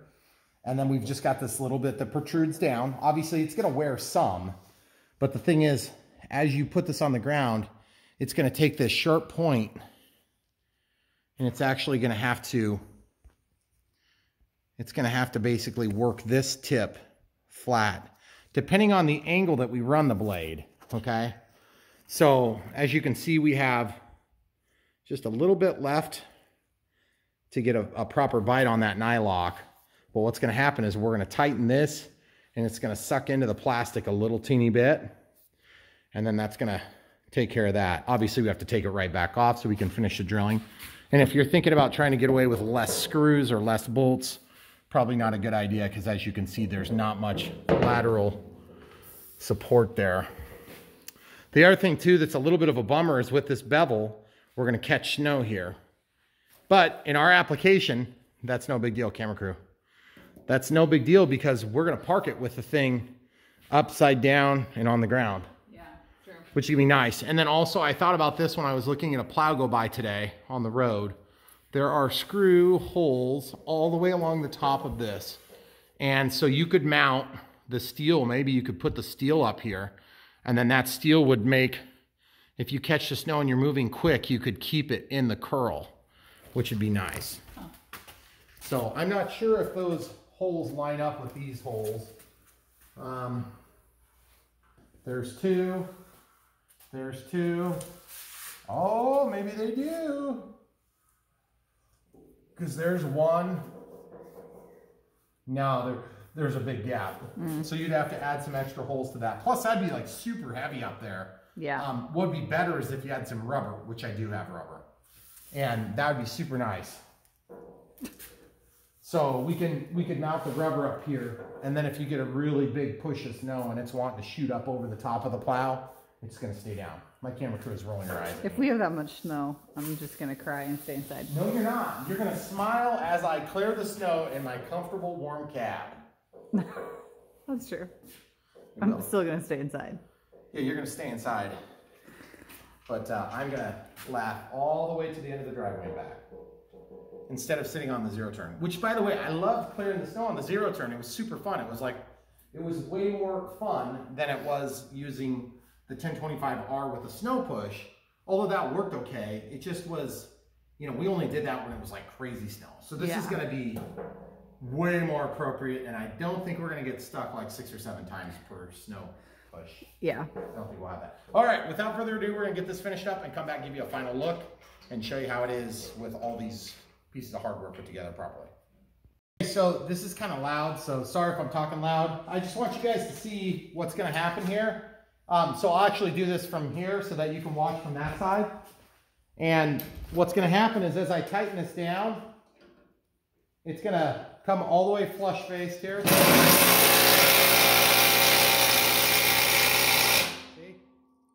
And so now we have that all the way through the nylon. So the nylon is actually holding the threads. So look over here. See how that's got a little bit of a mushroom to it? Or a concave shape. So we're holding in. We've got a nice big pad that's hanging on. So basically I just have to work my way down and make sure we don't have a big wave in it. And that's gonna hold this sucker on there really tight. And as you can see, if you look down there now, they're not tightened, but it's looking better. So we'll come back in like two minutes and show you the final job here. So as you can see, we've got that done. It's sucked in there nice and tight. Tight like a toiga. And it's a really good fit now. We had just the perfect amount of penetration. We didn't want to over penetrate because then there's just too much complaining. Mm-hmm. But it's nice and smooth, like it's feels like a cutting, like a Like a cutting like a cutting board, except it's not because a cutting board is very weak. Trust me, food grade. I tried it. Oh yeah, this is food grade technically. We did try. So yeah, we tried cutting blade or cutting boards on our John Deere snow push, and then we ended up with uh, worn down cutting. Okay, so there you go. There you have it. So now our next and uh, final step is going to be to go ahead and set up the hydraulic decouplers for good and show you what that looks like. We've already done the couplers, but now we just have to get them to match because we have one that's flat face and one that is not. Did you hear that pop? I did hear that pop. That was interesting. No, I, I don't know if I just touched it and it moved, but yeah, it kind of freaked me out. But yeah, it's always exciting when you're working with loaders and you hear a pop. So anyway, there you have it, guys. So this is going to catch snow for us. So that's a little bit of a bummer. I would have liked them to not have it beveled, but who knows? Maybe we're going to be glad that they beveled it. Um, the other thing too is you got to keep in mind, you can only go so much on a tractor. You can go way down underneath, all the way upside down, and to the point where you're, you could use this as a cutting edge backward. But the thing is, I can only go so far up without making some sort of a wedge that would go in here that would sort of split the difference, and that's going to add length to the machine. So at this point, this is what we're going to have, and we are really excited to see it work. I think it's going to work great. And we'll come right back with the hydraulic fittings here in a minute and show you how that looks. So as with any new machine with moving parts, you have to grease it. Yay. so there's a greaser here. As you can see, I greased it because it's immediately starting to come out, which is always a good sign. Then, get off of there. I have the world's cheapest and crappiest grease gun here. I will not link to it because I don't wish that ill on anybody. Not even And my you worst of enemy. all people need a nice grease gun because Yeah, you would think. you hate it. So then there's also one down here, which is rather easy to get to, but we pumped like six and a half gallons in there, I felt like. Yeah. So it's probably like all up inside of this cavity. then this one was a real bear cat, okay? So this is a central pivot here. I don't know if you guys can see my pinky moving. There we go. So we greased that and it started coming out right away on that bearing. So that was good. Um, what we had to do is because of course the machine was off and we had the hydraulic pressure broken. I just had the camera crew lean on this and of course I moved the stick and we were able to kind of push that out of the way. Worked out really nice. But don't forget to grease your machine. Those are the three spots I know about. There could be more that I don't know about. Um, I don't see a grease zerk down here where it's allowed to pivot for the breakaway, mostly because it's not a normally moving part. It's kind of like does move, but it's not really gonna move all the time. Um, and then I don't know, I didn't see any grease zerks around this shaft because it's a kind of loose fitting. Uh, there's probably a good uh, 16th eighth to a sixteenth of an inch clearance around this. So show them that from a, a different angle. As, as you hit stuff, then that spring works. And then you can tighten this knot to increase the amount of pressure that's required for the breakaway. And that would take you from a snowplow setup to a plow setup or a bulldozer, setup. So at any rate, um, the only thing on this machine that I wanted that I didn't get was hydraulically actuated angles. Because I wanted it to tip um, with my loader bucket, go up and down with the loader up and down, and then I wanted the angling this way, but I also wanted to pivot this way under hydraulic pressure. But what I found was you can already kind of make that angle anyway by just manipulating the angle here with your bucket. So if you manipulate the angle here, you manipulate the angle that you engage the ground. So keep that in mind as you're making your decisions. Again, this is the SP240.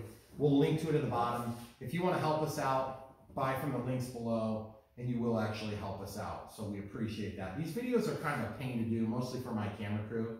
I can stand here and film stupid stuff like this all day, but she has to stand there and hold the camera. So Instead of doing important things like if for nothing making else, dinner. If you want to show sympathy on my wonderful camera crew. so anyway, we're done greasing, so we'll pause it and we'll come back with the hydraulic fittings. Okay, so just so you guys know, you can also get these flat-faced adapters, which are going to be, in my case, with the hoses here, uh, we're still half-inch uh, national pipe thread and half-inch national pipe thread. And you can get this pair for like around 38 bucks plus sales tax. on the Summit Yeah, hydraulics. on the Summit site. So you can actually buy that. You can buy it in a three quarter or a half inch national pipe thread. We need half inch, half inch, half inch, half inch in this case, based on the way we built the hoses. And obviously we need them to be female so you can screw in your hose. You can buy hoses with female ends, but it's pretty uncommon and I would not recommend it because it's very, it's unique. Um, you only almost always see that on machines that are built because they have a hard pipe and then it goes to a female fitting and then hoses usually have a male to female or a male to male is my experience. So anyway just watch how nice this is. Um, I, I learned this after we made the decision to do what we did because like look there's act, there's nothing for leakage that's nice okay now the reason that that is nice is because I literally have nothing to wipe off, okay, which is really nice. Um, obviously, we already broke the pressure up front. And then over here, I'm just going to show you the difference. Now, this is the this is the Pioneer connector. And so we actually spent about the price that we were going to spend on the whole pair of them from Summit. So we'll link to the Summit pairs and uh, we'll link to the Summit singles and then we'll link to the Summit if you wanted to just get another pair of these and put them on, then anything you buy from Titan that's going to be skid steer attachable is going to come with this style. So our thoughts are it might be easier to just get two ends that are like this, and I'm going to show you that now. So when you break these, the first time I broke it, I lost a little bit of fluid. It wasn't a lot. But you see what I'm talking about? See that? There's just a little bit of fluid there. Okay? So, I mean, it's not like a huge amount. It'd be like just whatever's between the tip of this and the end. So you can quickly wipe it off. And then in most farm applications, you know, people are not going to care, but I'm just kind of a clean freak. And so that's just the way I am. Okay. Kind of. You may be. Okay. I'm a clean freak. So obviously we're going to take this one off. We'll see if maybe the Summit ones are better. I'm kind of doubting they're going to be a whole lot better. But when you take these things off, we happen to be in this kind of busy area. So my plan is to throw a piece of cardboard down here just to direct any oil that does get spilled. It's gonna it's gonna weep a little bit of oil on the ground, but it's not gonna be that big a deal. So my hope is, see this end there? That's the Pioneer style. And then this is the Poppet style. So if you press that, there's no pressure on it. So that's gonna that's gonna mean that as I press this, we're already over that side and we have no pressure in the circuit. So that makes it really easy to work on. And then when I unthread this, that's when we're gonna be vulnerable to oil getting everywhere. So I'm gonna try to hold this higher and then put the new one on. And if I have to retape it, then that's gonna be kind of a pain. So we may actually just not film that aspect because it's not rocket science. Um, but the big thing is that you can get these fittings for way cheaper and we can show you what we're talking about. Now the big catch is that you have to have the right size for your right tractor, for your right machine. So in which case it might be nice to support the people to help you figure that out, or you can support us, it's your call. So we'll come right back when we get these things on. Okay, so we got these connectors on from Summit, and so far really happy with the way that they worked. It was every bit as easy as the Pioneer ones, and uh, these are really nice. They're better dust covers, and they came with the dust caps. They snap on, which is nice on both the male and the female end. Um, on the female end, that was a separate purchase, so really nice looking connectors. Nothing, nothing too fancy there, obviously. But now we can switch the direction. If we don't like the way it's running, we can operate it the opposite direction, which is super nice. Okay, so as you can see, they also have a plug on the female side, which is super nice. And honestly, I don't know which side's which, so we're just gonna go for it. Okay, so there's one. And then the other side, which these happen to match the color of the machine almost perfect, which is kind of cool. So you can pull those out or you can relieve the pressure by doing it that way. Okay, so we'll just try this way and see if that goes well. Okay, so obviously it's not pressurized, so I don't want to be um, misleading here, but you got a little bit of loss there. So just as before, you got a little bit of dripping. So it looks like it's probably a, a style of connector issue. So those flat face ones for $38, if you're going to be plugging and unplugging a lot, it might be worth 38 bucks for um, the male and female half to supplement what came with this machine. And then you're not going to lose oil every time by the, you know, one teaspoon. So again, if you're out in the field, I don't know if anybody's going to really freak out too bad about that. Goes in there nicely, no problem there. And then these, these little dust caps might actually hook together. That's kind of nice. Hmm, yeah. they do hook together. Just to kind of keep them neat and tidy. They do stay together pretty good too, which is nice. So I know on the John Deere tractor we had, those things were always coming decoupled and it was a real pain in the neck. But those ones seem to do well. We also disconnected one zip tie or we had cut off one zip tie here. So we may actually do one more, but you'll notice that I have a twist here in my line. And that was because we didn't like the direction that it was running before I felt like the controls were counterintuitive to the direction uh, that the angling occurred. So we might test that real quick again and just make sure we don't have any leaks. But before we test for leaks, I wanna make sure I have all this stuff dried off because I got a little bit of oil on it when I pulled that one connector off. So we'll pause and do that. Okay.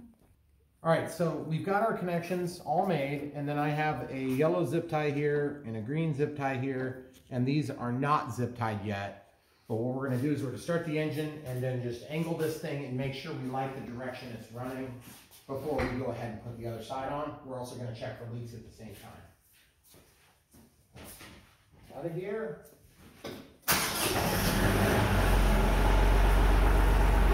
Back.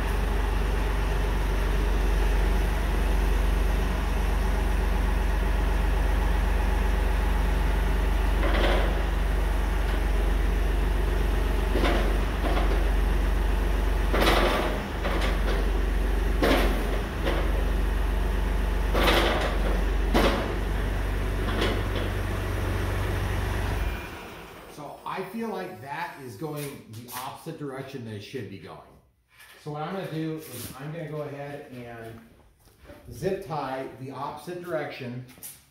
So if you guys see, I've just got these colored zip ties. It's nothing too out of the ordinary. So yellow is here, so I'm gonna hook up, I'm gonna put a zip tie that's green here. And that's just gonna be my quick reminder when I hook this up that I want to use the green connector on this side and the yellow connector. So that's the pressure and the return, but obviously this is a selected valve control, so, or an SCV. So you can go either direction with it. So the pressure and the return are not dedicated. So they switch every time you move the valve one direction or the other. Did you get all that, camera crew? Yeah. I already knew that. It's, it's pretty basic stuff on the hydraulic side of things. So, once I get, oh, pretty basic, but I can't get my zip ties through. It's a little tight over there. Yeah, it's a little tight, tight like tiger. Did you keep your side cutters? I did. Okay. I have them over here. So basically, we will get these zip ties on, and then we have to switch our connections, which means that we're going to have to catch the little bit of oil that leaks out, which is annoying. Um, or we just grin and bear it until the next time we have to move it or take it off, which is probably going to be five minutes after I put it back on the next time. Mm-hmm. Probably. So that's the only thing I've noticed so far is that even though we've had to get our forks onto the machine, what, twice since we put this thing on, it's really pretty quick and pretty easy. And the landing gear does definitely work to catch the machine. You can angle this thing and you can park it. But one thing I've noticed is that with this quick couple, you do have a tendency of dragging it no matter what you do a little bit. And especially with a cutting blade that's down potentially in grass, you want to be kind of careful about that if you can. You might almost be better off to just lay this flat on the grass.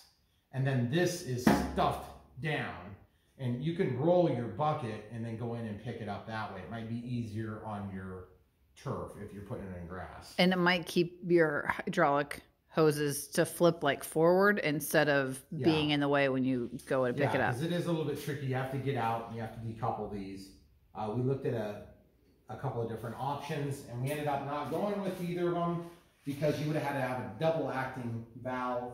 And what we ended up using was a single acting, or not double acting valve, but double acting, meaning you can pull forward or pull backward to release this. And then Parker makes a fixture that will hold on to that. And then if your hoses pull, then it will release the actual front attachment or the back attachment as the machine is pulled away from the fixture or the implement or the trailer or whatever happens to be. So in this case, we're just gonna switch these, but we're under pressure still.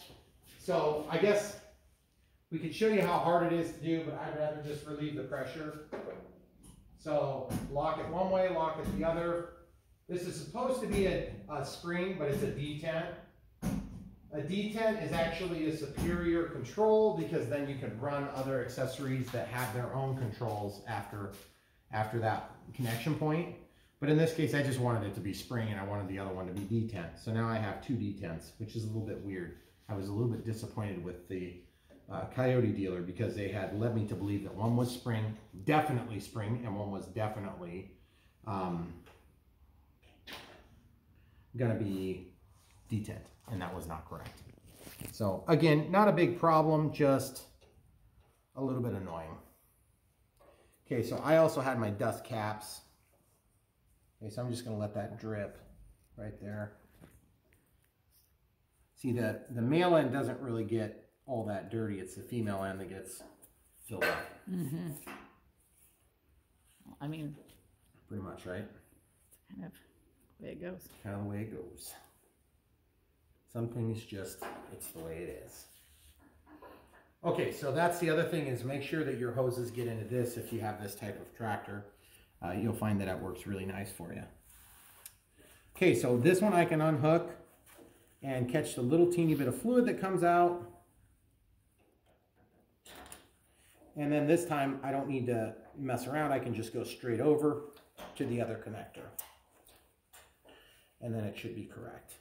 Okay, so I'm just gonna give it a second to drip the oil out because even if you slide the connector back in, there's still gonna be residual oil that's forced out as you do it. So I'd recommend wiping it up because I'm a clean freak. We talked about this earlier. so now this one, we can come back down here and hook this one up. Super easy where we routed our hoses, I felt like we got a pretty good spot. And every single time I've hooked up a quick decouple like this, I've always had some leakage no matter what machine I'm using, with the exception of those flat faces that I thought were so stupid. So See, you gotta quit I gotta quit learning. new things. assuming. Yeah. No, I wasn't assuming. Sometimes new things aren't so bad. Well, they're expensive though. That Those is true. things are more than double the price. But if the summit ones are half the price that they are that they are 'cause at you the only farm need half of store. the equation. But yeah. That's true. Okay, so we're hooked up. We're hooked up. And then we've got the hoses where we need them to be. And if we know this is the way we're gonna go, then I could ask, I could actually put another zip tie or something in here too to keep those in the correct position too. Cause you don't wanna make them so they're wanting to pull away from each other weird like that. Let's go ahead and start the engine and see how it does when I prime it.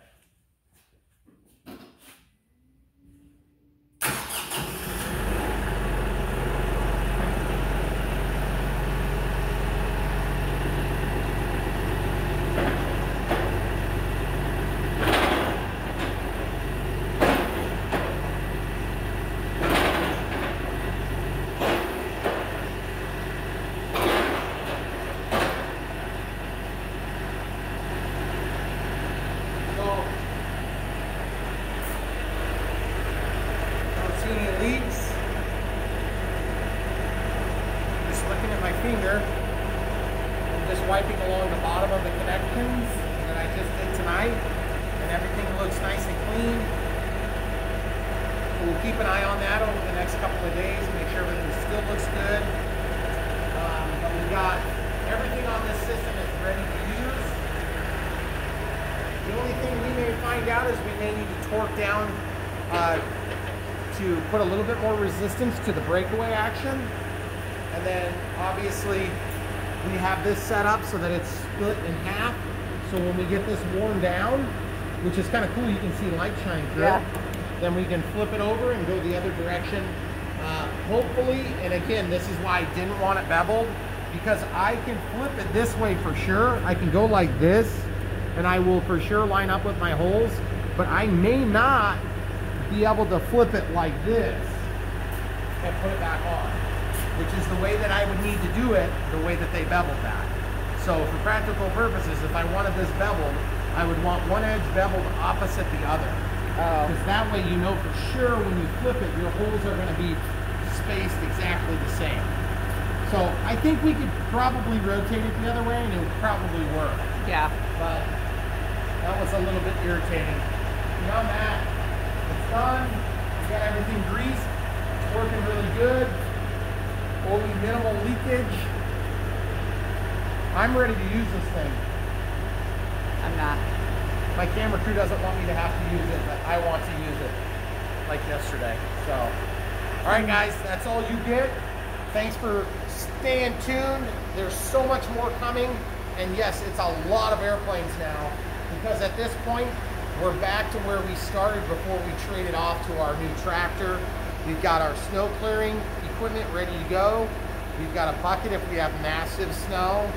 We do not have a backtrack blade, but this will serve the same function. We also have our hay spears adapted so that they'll work. And we have our baler. That's the only thing we have to get ready, which is one controller that we have to actually hook up to 12 volts.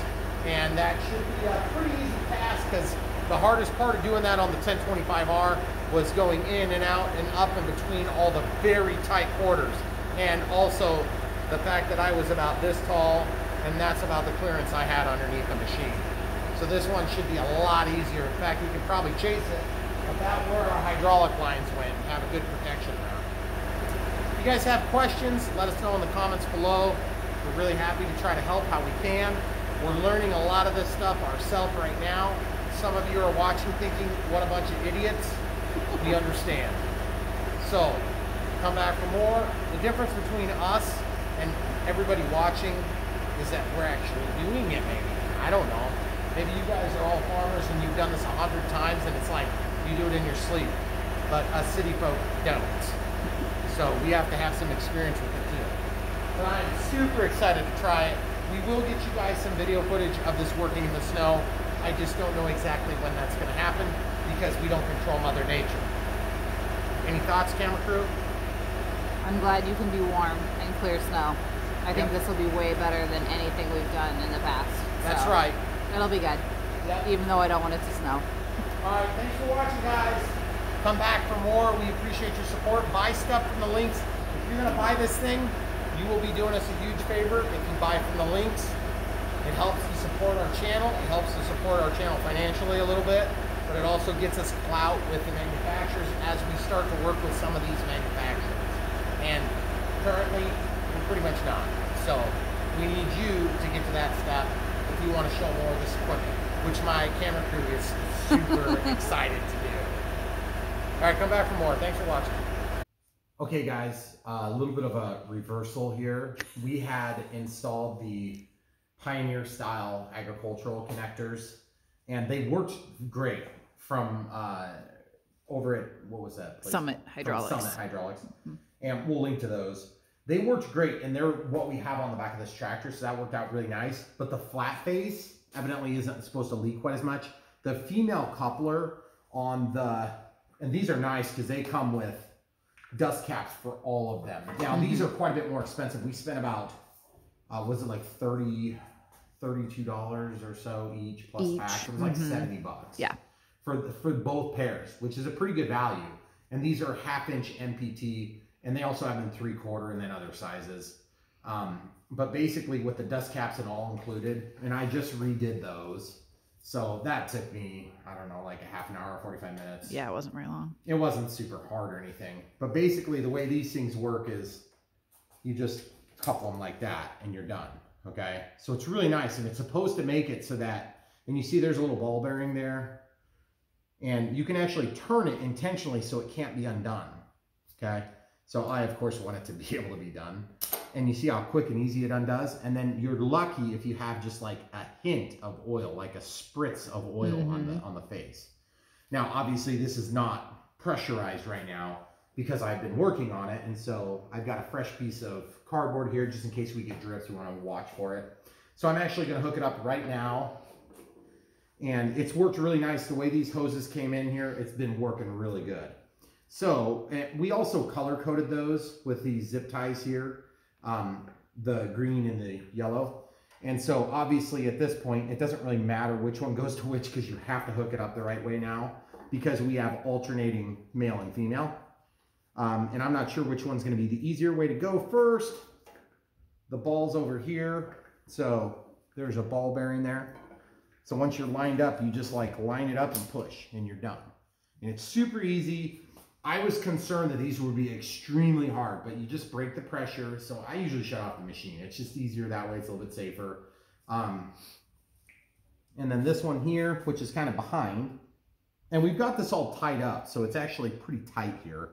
And so this works out really nice because you can just push straight in. You don't even have to hold the collar, which is nice. Now on the agricultural style, it was cool because you could hook these things together. And I think you can, you can still stick these together just loose so that the dust caps kind of stay out of their way. Um, but in our application, it's not really a big deal. And so these are much bulkier, bulkier, bulkier, Bulkier. connections, um, just in that they're bigger. But that doesn't take up any additional length of hose. So in our case, it doesn't cause us any problems. But you want to keep that in mind when you're making decisions. Um, I just got done switching. So that's what this rag is. So we're to start it. We'll go ahead and just run it for a second and show you what happens. the things inside of it. Look, you are so lucky.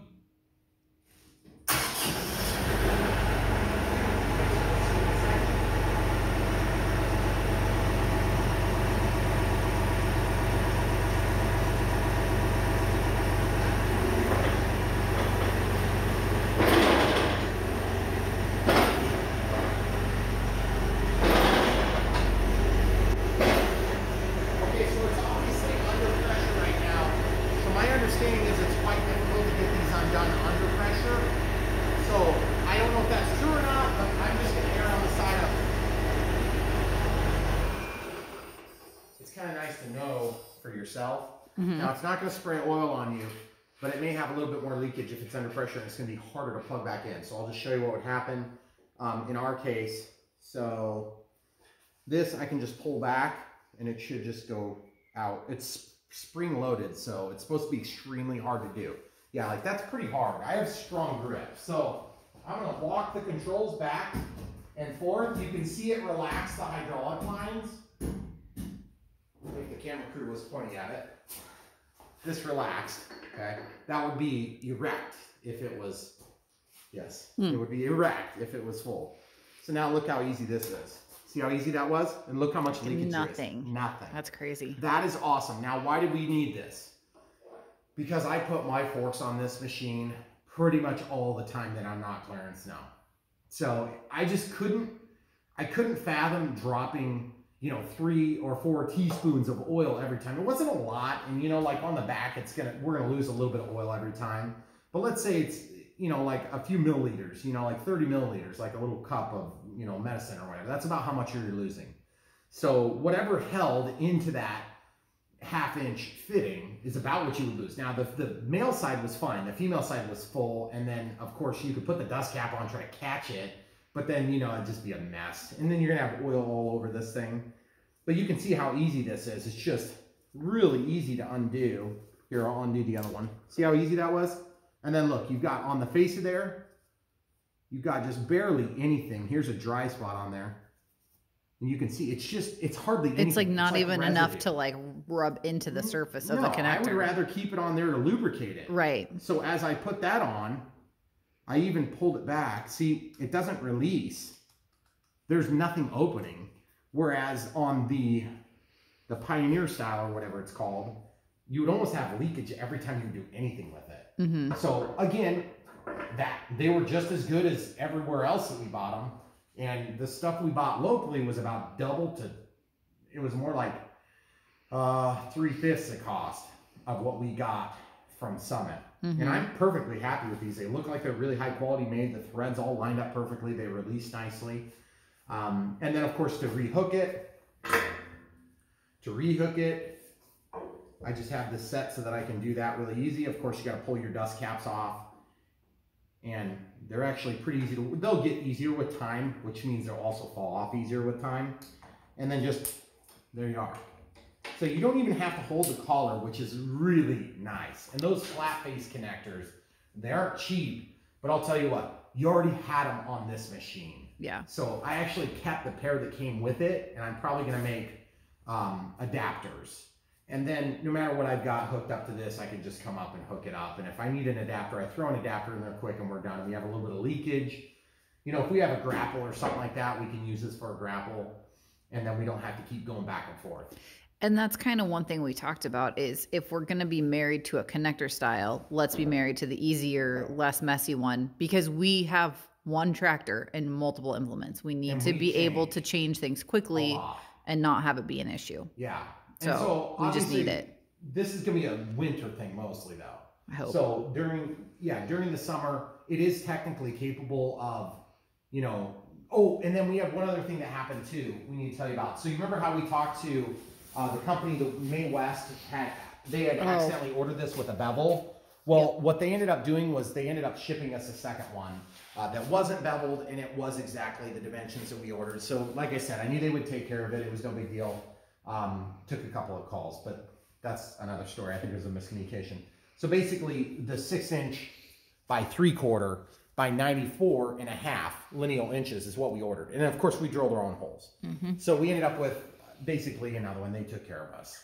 Um, I think that was that was fair. I mean, I actually offered to, you know, have them just split the difference and the next size down or whatever, and um, they preferred to just ship a whole new one. So I said that's actually better. I mean, we're getting a lot better value out of it. So I thought that was pretty cool.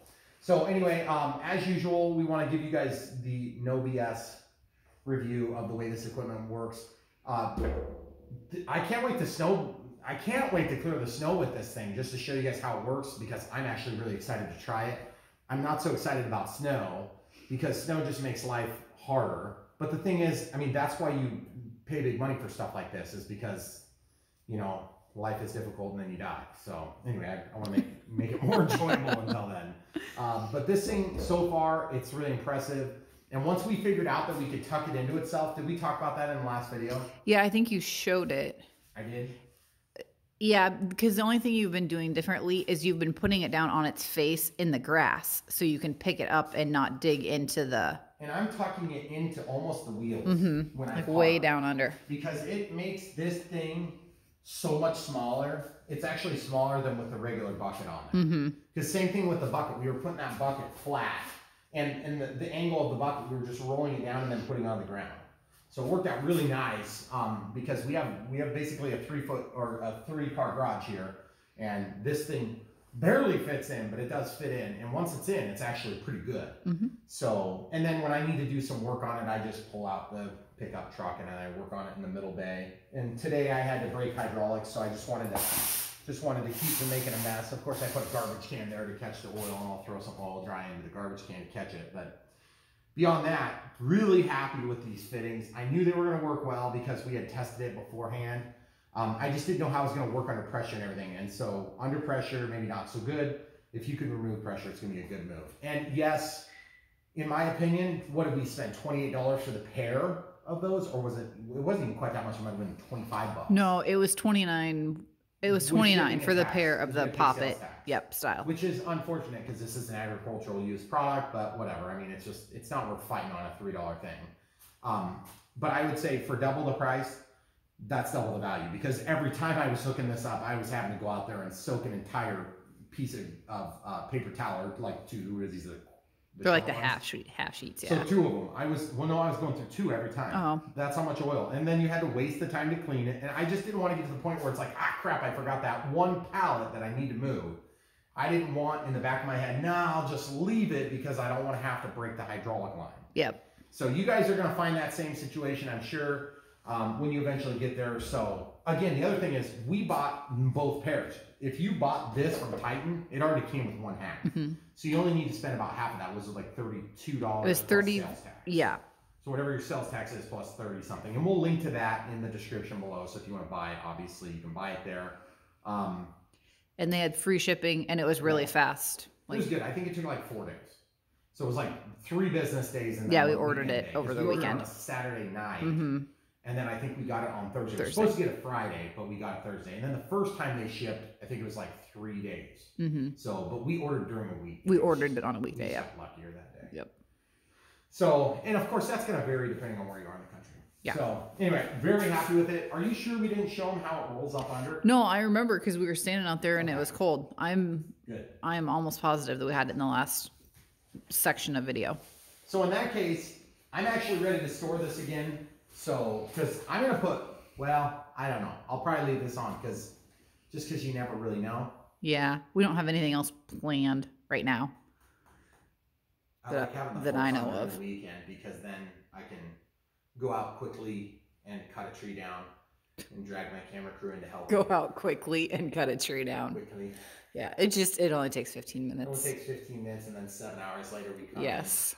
having worked harder than we did all week. Mm-hmm. Yeah, that happens a lot around here. Yeah. I'm, I'm leaving. I quit. I'm going inside. all right, so the next the next part of the video is probably not a part of the video because you've seen the whole shebang. You've already seen this run at the beginning. So again, if you haven't figured this out, our channel works like this. We film long videos, you watch, hit the like button, uh, subscribe and click for notifications if you'd like to see more of what you're seeing. All three of those actions will help us as a channel to grow. It's going to help us to um, work with more vendors. We don't work with these guys currently, but that'd be cool if we could at some point. Now, if you buy from the link in the description, you do help financially with small commissions and things like that. So that really does help our channel. Um, it's, I mean, it's like in the small percentages. Mhm. But the thing is, these are expensive. So if if you guys are really wanting to help us, we don't have a Patreon begging site. I mean, we obviously have and make good livings. So we're not in this for the money. We're in this to help you guys out. The Kioti tractor, we just couldn't find anything about it. And we find a ton of stuff about Kubota, tons of stuff about John Deere, which rightfully so. They're both great tractors. But the thing is, like, this was just, uh, you know, it was just strange. I couldn't find out. It was mysterious. Like, is it any good? Well, I'm telling you, so far, it's very good. I like it better than my John Deere. The John Deere was great, which, by the way, I love my little 1025R, and I use the heck out of it. And the guy that I sold it to loves it too. I talked to the guy because, anyway, I'm weird like that. But anyway, the, the thing is, this tractor has been great. Mhm. The value for the money is doubly as good as the John Deere. Yeah. I mean, more than doubly because it's significantly cheaper and it's been very good and it beat the specs on everything. And so for those of you that are out there saying, yeah, but you were just looking at spreadsheets, Brian. And I'm like, no, I wasn't looking at spreadsheets. I was looking at a baler and hay and things that I actually need to do with it. And then I went out and did those things with it. And it's been awesome. And it has not let us down in any way. The John Deere let us down only mildly on a couple of different small situations where we're really expecting more from it that could deliver Yeah. uh, safely. Yeah. This thing, hopefully, we're going to be so much oversized compared to what we've got for applications that it's going to be great. So that's why we're doing these videos right now. They don't produce anything for income on our channel, but if you buy something like this from following the links, you will help support the channel. Anything else you want to add? I think that pretty much covered it. All right, thanks for watching. Come back for more, guys.